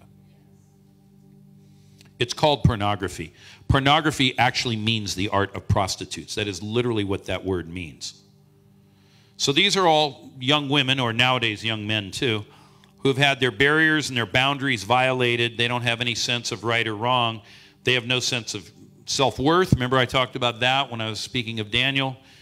And so the land in America has become full of depravity to the point now that we are endorsing things that God says are an abomination. That is at the root. There's a bigger story, but we don't have time for it. That's at the root of the of the uh, explosion of homosexuality and transgenderism that's going on in our country. Right there, it goes back to the '60s. So if you were part of that sexual revolution and you walked in those ways of immorality you probably need some help, some serious deliverance help from all of the immorality that happened back then. It was 60 years ago, or 55, or whatever the number is. But, but we're reaping the whirlwind. Do not be deceived. God cannot be mocked. Whatsoever a man sows, that shall he also reap. He who sows to the flesh shall of the flesh reap destruction. He who sows to the Spirit shall of the Spirit reap eternal life. You shall keep my Sabbaths and reverence my sanctuary. Here we go, verse 31, which is where I really wanted to get to. Do not turn to mediums or necromancers and seek them out and thereby make yourself unclean. So Leviticus 19 is a gold mine in terms of understanding some of the demonization dynamics. Leviticus chapter 20, verse 6 if a person turns to mediums and necromancers, whoring after them, that's really strong language. You're a spiritual whore if you're doing that. And why is it whoring? Because you're uniting the body of Jesus with that other thing, and you're not supposed to do it. I will set my face against that person and will cut him off from among his people. There's where the spirit of death is in operation when people get into this stuff. Verse 27 of the same chapter A man or a woman who is a medium or a necromancer shall surely be put to death. They shall be stoned with stones. Why? I don't even want you touching them. Why? Because often when people die, their evil spirits will jump on the closest person. So if you're throwing rocks at them, you're far enough away, you're outside the contamination zone. These are the spiritual dynamics that are going on in these passages. Now, you're going to have people walking into your church, this church, and they're contaminated because they went to that astrologer or that card reader or they went into downtown LA to Chinatown and they found an herbalist. Or they went down to Costa Rica and they went to an ayahuasca retreat. Or, or, or, or, or, or, or. And so you will absolutely be running into this in our time. And until we get the great and shining revival, this is going to get worse, not better. And I can tell you, I started saying about mm, probably seven or eight years ago there's a great wave of deliverance coming, but the main reason is because there's a great wave of demons coming. And it's the only way to deal with them. So God sets his face against those who engage in the occult. Let's look at a couple of others. Deuteronomy chapter 13.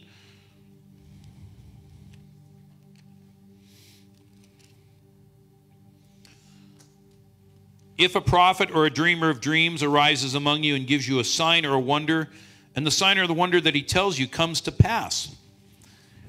And if he says, Let us go after other gods which you have not known and let us serve them, you shall not listen to the words of that prophet or that dreamer of dreams, for the Lord your God is testing you to know whether you love the Lord your God with all your heart and your soul. So God actually allows this stuff to rise up in our midst to see what will we do with it. He doesn't, he doesn't tempt us, but he tests us. You shall walk after the Lord your God and fear him and keep his commandments and obey his voice. You shall serve him and hold fast to him. But that prophet or dreamer of dreams shall be put to death because he taught this rebellion against the Lord your God. So, whether it's because they're saying, let's advocate for that God, and we could put any God in there, it could be Baal, or it might be Allah. But let's go follow that God. That is as bad in God's eyes as seeking the dead or going to a spiritualist or a medium. And again, the penalty is death. We're not going to put people to death. Nobody needs to worry about that. And NSA, wherever you are listening in, don't worry, we're not advocating any kind of mass slaughter here. But there will be a spirit of death that will come over that individual. And it's right here in the pages of Scripture. And then it goes on and it says, even if your brother or your mother or your son or your daughter or your wife does this, you, you are to make sure that they are put out of the community and killed because of what it will do. It will contaminate a society. Is that happening in our world today? Unquestionably, it is happening. And in fact, we're celebrating it.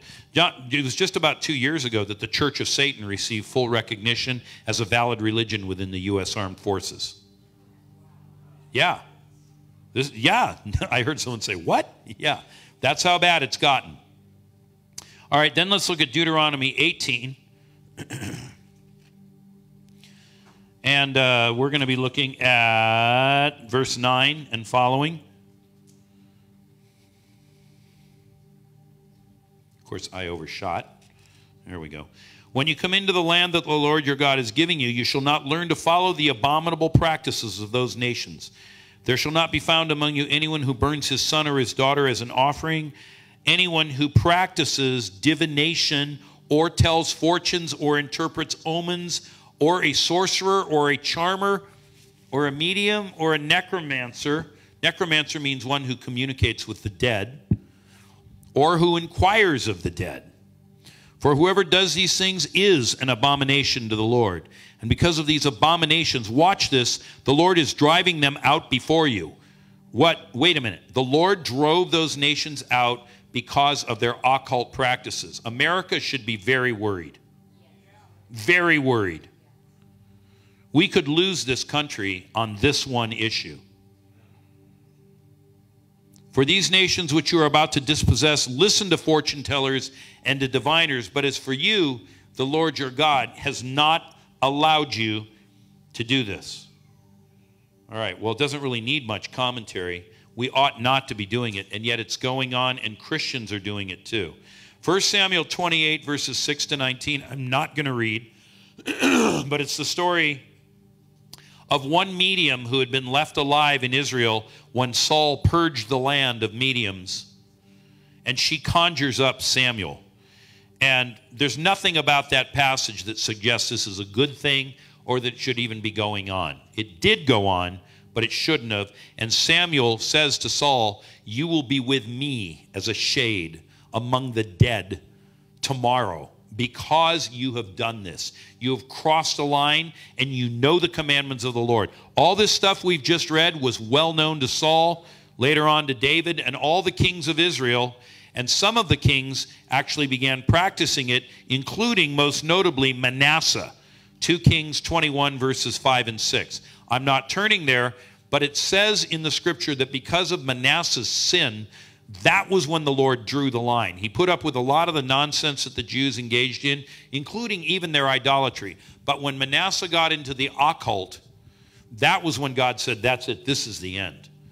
And so Manasseh has a son named uh, Asa. No, not Asa. Um, yeah, I can't think of it. He, he reigned two years, and then comes Josiah the reformer. After Josiah's reform, though, in 25 years, Israel ceased to be. Judah was wiped out by the Babylonians. And it was all because of what Manasseh did. So there can be a long fuse on this stuff. So, do we need to engage in occult warfare? Yes, we need to cleanse the land. We need to pray for these houses of necromancy and fortune telling and the occult bookshops to shut. Has anyone been into a Barnes and Noble lately? If you walk into a bricks and mortar Barnes and Noble, the entire front of the store is laden with all manner of occult and witchcraft books. It's absolutely shocking. So, this is where we are going. And like I said, there's a long fuse. Manasseh lived 52 years. His son, that I can't remember his name, lived two years. That's 54. And then Josiah ruled for, I'm drawing blank, 16 years, I think. Um, so we get, a, we get up near 40 years, and then after Josiah, 25 years, and it's done. That's two generations. We're in the 60s of years. When did the sexual revolution begin in the United States? 67, Summer of Love. When you come to San Francisco, be sure to wear the flowers in your hair. When you wore the flowers in your hair, it meant I'm available. And we had Woodstock in the summer of 67. And a friend of mine, comma, a vineyard pastor, comma, conceived her first child at Woodstock. She found some guy, lifted up her dress, laid down on the grass, and they went for it right there in public. She got pregnant, but in 69 we didn't have Roe v. Wade, which, by the way, was the societal solution to all of the spawn that was coming out of all the immorality that was unleashed in the 1960s. No one ever thinks about that. And so she went ahead and had this kid, raised him, became a Christian, loved him. In the end, it's a better ending. But, but bottom line, this is what was going on. So it's about 60 ish years, 65 or so, from Manasseh to the destruction of Jerusalem. And we are just about 60 years from the beginning of the sexual revolution in America. America should be worried, and we need to be engaging in occult warfare because here's the thing sexual immorality and all of this occult stuff, they are always juxtaposed throughout the Old Testament. Why? Because if you're doing one, you're probably doing the other.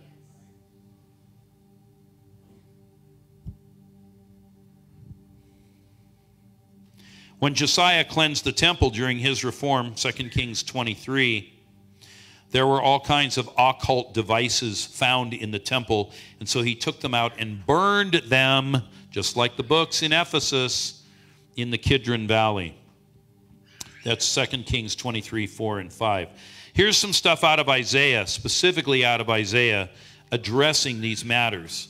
Isaiah chapter 8 says this. Verse 19 When they say to you, Inquire of the mediums and the necromancers who chirp and mutter, should not a people inquire of their God? Should they inquire of the dead on behalf of the living? To the law and to the testimony. If they will not speak according to this word, it is because they have no light in them.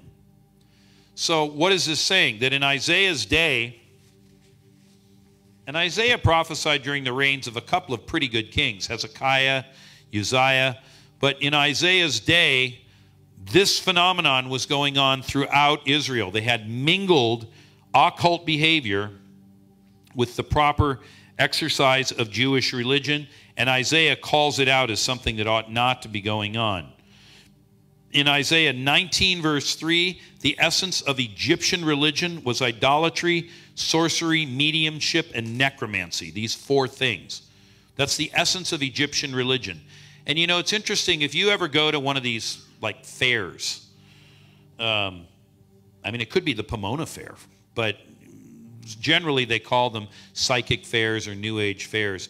One of the most popular things that you will see is Egyptian paraphernalia and hieroglyphics and phoenix birds and stuff like that.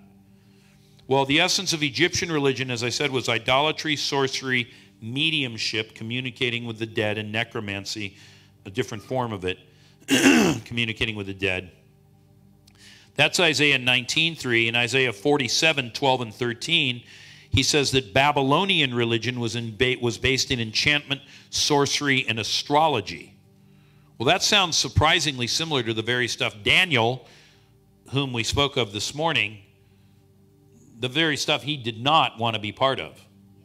So Daniel was listening to Isaiah because Isaiah was before him, and he'd taken on board these key seminal teachings out of the prophetic literature. Isaiah 65 4, this is particularly true for people who come from African backgrounds, Asian backgrounds, or Native American backgrounds. I'm not saying it can't go on in other cultures, but it's, these, are, these are hallmark features in those three broad sectors of society. And yes, I'm aware not all Africa is one tribe, and not all of Asia is one tribe. I'm just talking about big ethnic groups that have similarities. Isaiah 65 4, necromancy and ancestor worship are forbidden. And in all three of those big clusters, black society, Asian society, as well as Native American society, ancestor worship is a gigantic thing. That too is occultic. And then in uh, Jeremiah 8, Jeremiah says we're not to bow down to the, to the heavenly bodies. Jeremiah 8 2. It's very interesting to me. I've always had an interest in astronomy, um, but because we all have Google on our devices now, and because I've always had an interest in astronomy, not astrology, um, you know, with, with all the stuff that's going on with the James Webb Space Telescope and before that Hubble, every now and then I like to just see what's going on in space, you know, because we got all this equipment up there now, and they're making all these discoveries. And it's been really fascinating to me, in particular, just in the last about a month since the James Webb telescope turned on. There's like this breathless expectation. Now they're talking about sending robots to the, to the cold oceans of Jupiter and Saturn to swim around and find life there. And they had a spectroscopic scan that came back from a planet that orbits a star 7,500 light years away. Just to be clear, a light year is about 6 trillion miles. So it's 7,500 of those away. Um, but they can see this spectrum, and it appears that there's water in the upper atmosphere of that planet. And so they haven't found water anywhere else. And so they breathlessly declared, We have found life on other planets. No, we have not found life on other planets. We have found what appears to be the radio signature of water, but it's a long jump from water to life. But with all of this, there is starting to develop this thing of the aliens, and they're coming, and they're going to announce themselves to us. And there's this whole meme in that community that is, frankly, pretty distressing.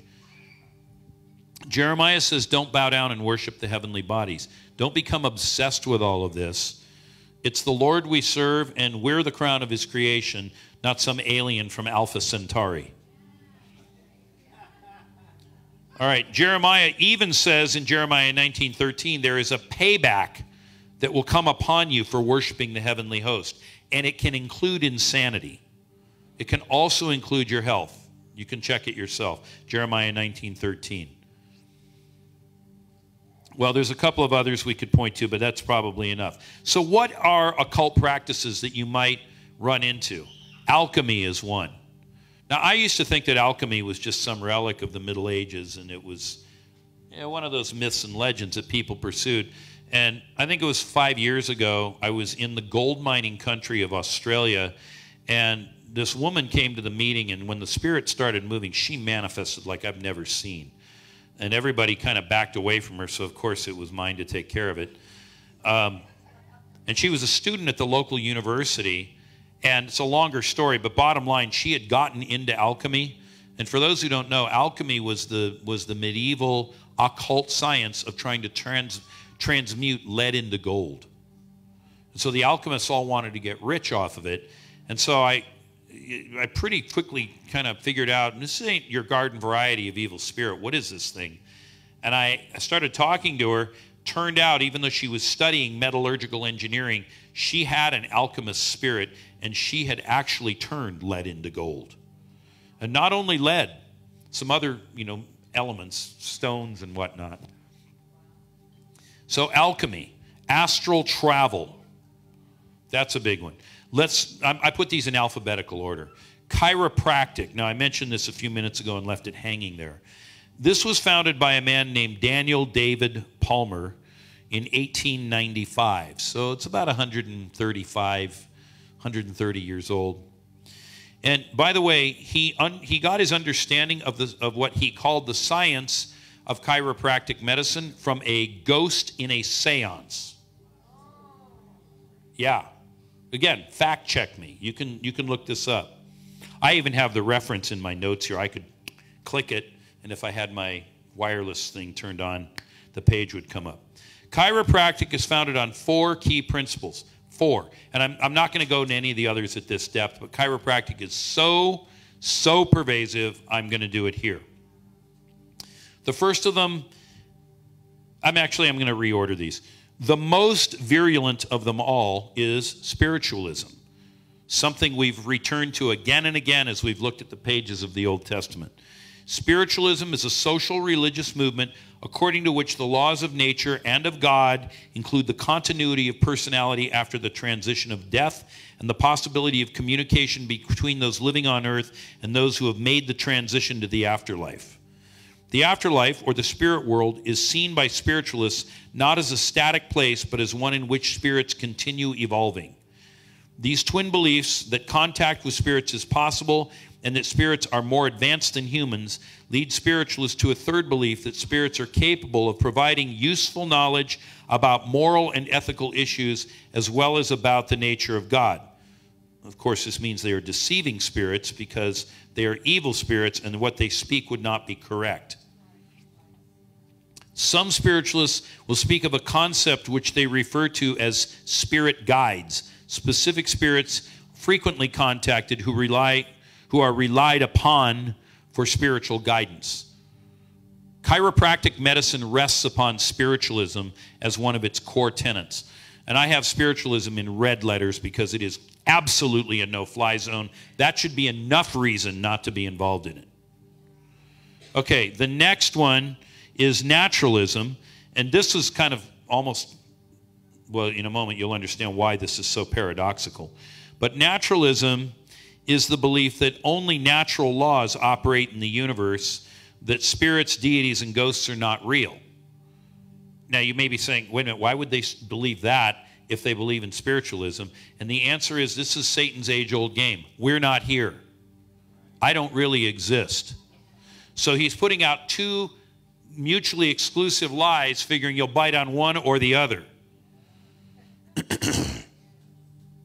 but naturalism is a problem because it denies the reality of God. It is a godless philosophy, and it is empowered itself by the notion that there are no spirits or deities or ghosts. Well, that means there's no angels either. That means there's no four living creatures. And so it leads you into a sterile spiritual uh, environment. And for many people who get into this, they, they end up in bondage to that other side of the same problem. So we got spiritualism against naturalism. Then we have vitalism. This is the belief, this is the third key tenet of chiropractic medicine, that living things are different from non living things due to the vital spark, the life energy, or in French, the élan vital. And so, what is the equivalent of that? It is none other than the force of Star Wars. Yeah. And so there is a belief in a non personal force that can be channeled and directed. And this is part of the core tenet of good, true chiropractors. I know there are some who say, well, they taught us that in school, but I set all that aside. But part of the chiropractic induction process is you're taken through the ritual and I don't think they lay hands on you to commission you, but you are invested with this special knowledge from Donald David Palmer. The fourth tenet, so all three of those are problematic, from the worst to the maybe least problematic. The fourth one, this one I think is neither here nor there. I'll just mention it so I, I'm complete in what I say. But I don't think this one is, at least at this point in my thinking, could change. I don't think this one is particularly a problem, but it, it's just part of the worldview, is magnetism. Now, magnetism is a class of physical attributes that are mediated by a magnetic field and it refers to the, about, the capacity to induce attractive or repulsive phenomena in other entities. So you can propel magnets away or attract them depending on the way the poles are aligned. Magnetism is a pretty well understood dynamic within the field of physics, and um, magnetism occurs, you know, with many different uh, substances. Some metals and rocks are more magnetic than others, but all all beings, all creatures, all inanimate objects on some level exhibit magnetism. It may be very, very low, or it may be much, much higher. It just kind of depends. Um, in my mind, if you want to wear a magnetic bracelet or something and you think it's helping you with your rheumatism, I don't think there's anything particularly wrong with it. It's a little unusual, but it's a little bit like essential oils. I don't think there's anything specifically wrong with essential oils you may spend a lot of money on them and you, you know you may become dependent on something and so there may not actually be a medical value to it but are you going to get demonized? Maybe not. So the magnetism thing to me is neither here nor there but the first three definite no fly zone and we've seen many people get delivered of chiropractic treatments although that always makes people shudder and it always creates a lot of work for me to say it. Conjuring clairvoyance, which is the ability to see at distance. It's kind of like what we do as Christian prophets when we see things in a vision. Um, but clairvoyance isn't relying on the Holy Spirit, it's relying on dark powers. Clairaudience, which is the ability to hear things at distance. So, voyance has to do with seeing. We get the word voyeur from somebody who sees, and then audience, the ability to hear. Audeo is the Latin word for to hear. Crystal balls, divination, including divining rods, um, the arranging of organs from a, from a killed animal, maybe on a plate, uh, seeing how tea leaves fall in a cup any or all, and there are other forms besides any kind of divination like that, including, by the way, divining rods. Now, you don't run into this too much here in California, but anyone who's from the Midwest or the central continent, you know, it looks like a Y and they hold it, and the rod will turn down when you're over. What depends what you're looking for a pipe, water, or oil. So, divination of any kind is um, a strict no fly zone. Got lots of stories on that one from my travels around the world, but no time. Fortune telling, Harry Potter. Why? Harry Potter glorifies witchcraft. And it takes many people in the direction of, gee, I'd like to try that. And then they get their imagination spun up and they start questing for it. And there's always something out there that wants to, you know, take you there. Mediumship and necromancy, the Ouija board, Wicca, yoga. Why yoga? Because yoga is Hinduism, as I already said. And generally speaking, people who get into yoga thinking it's going to help them with their sore back or their stiffness and that kind of thing, they generally end up worse because of this pay me now, pay me later phenomenon. And so I've caught all kinds of flack um, for saying that yoga is not okay. And there are some pretty prominent preachers that kind of run in our circles who say that it's fine. But I've driven spirits out of people all over the world. And if you talk to Indian Christians, and I, I mean dot, not feather, when you talk to Indian Christians, they know exactly what's behind yoga, and they will happily inform you. And they cannot believe that white Americans, and it is mostly whites, you know, in yoga track tracksuits and yoga pants, drinking their latte and driving some, you know, suburban mom mobile. You know the profile. They can't believe that people are so stupid as to get involved in all this. And I've cast Kundalini spirits out of people, and they tend to accumulate right in here uh, from the practice of yoga. And when that stuff is driven out, all of the things that they were doing yoga to get rid of go away and they don't come back. Because again, pay me now, pay me later. Is it a spiritual counterfeit or the real power of God? Okay, what are the risks of the occult? Sickness, insanity, and anxiety and other mental afflictions. This is all found in Deuteronomy 28:65. 28:65. There can be generational effects that pass down through your children and beyond, your grandchildren and so forth.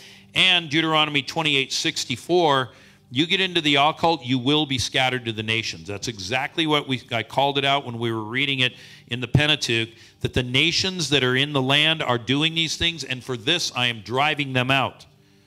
So we could literally lose our country over this stuff. And so part of our spiritual warfare that we're doing is to make sure that America remains free and remains American. And so I hope that I've turned all of you into uh, strong opponents of the occult. All right, I'm going to quickly walk you through how to pray people out of it. All right, so you've got somebody who's been doing any or all. They need to acknowledge the occult practices. I did it, I own it, it was wrong. By the way, if it's in their parents or their grandparents, they did it and I own it and it's wrong. Why they did it and I own it? Because you are you were in their loins when they were doing it, whoever you are, and you are confessing generationally the sins of your forefathers and foremothers. So we acknowledge it. Number two, confess said practices, whatever they may have been, as sin. And I always tell people to acknowledge that they violated the first commandment that there is no other God beside the Lord. None. And so, with that, they violated him. Then renounce the practices. Now, renunciation alone is never enough. A lot of people think that it is, but it's not. It's the first of a few other steps. So, the third step is to renounce these practices. Step four, where it's appropriate and you can do it, destroy the objects that are related to these things. We see this um, modeled for us in the pages of the scripture and I'm going to turn here. You don't need to because I want to finish this up. But in Deuteronomy chapter 7, it says this. Um, no, I've got the wrong verse. Deuteronomy, here we go. Deuteronomy uh, 7 5. So they will turn you away from following me to serve other gods.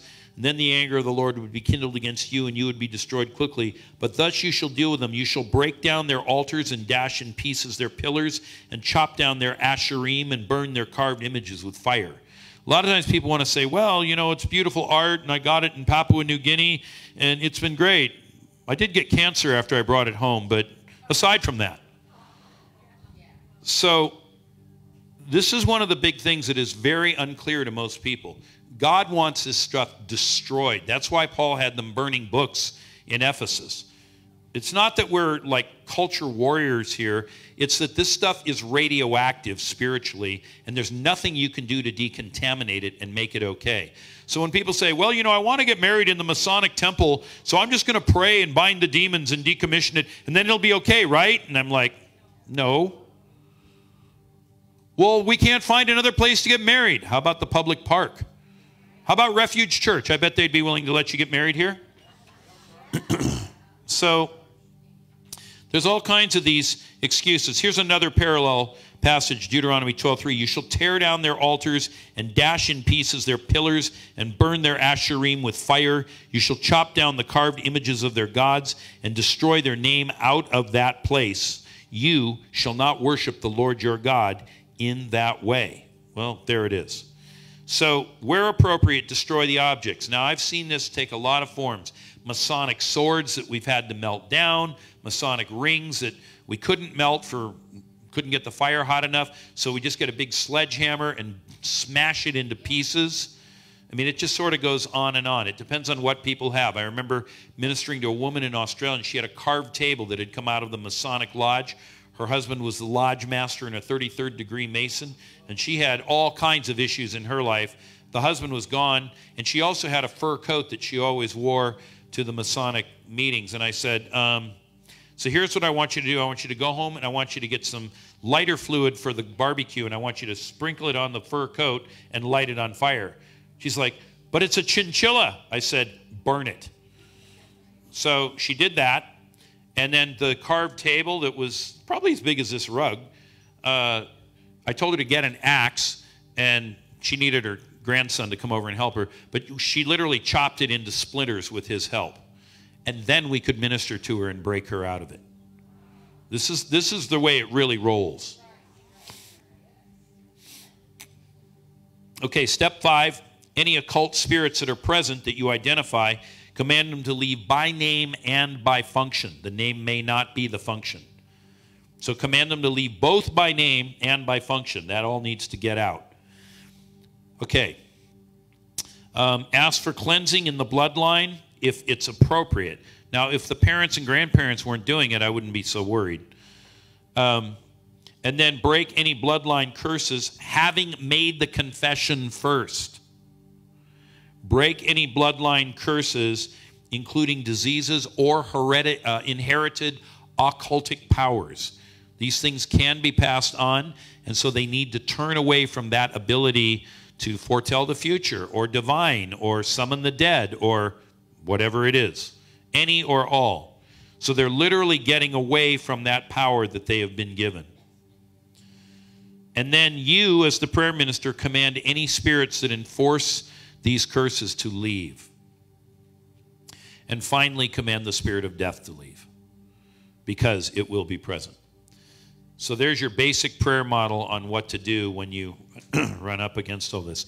Now, I went over by about mm, 50 minutes with this teaching, but I wanted to be thorough and I wanted to be meaty. So um, we're going to have a ministry time, but I, I'm a little, I'm a little bit of two minds whether when to do it now or after. I think maybe now would be better, and we'll just take our break and maybe the afternoon will string out a bit. Okay, so what I'm hearing you say is uh, we'll do a ministry time now, or yeah, is that good? Okay, that sounds good. Um, we do have ministry uh, team here. Whoever's on deliverance team at Refuge. I've got a few people that are here with me from my school people? too. Come on.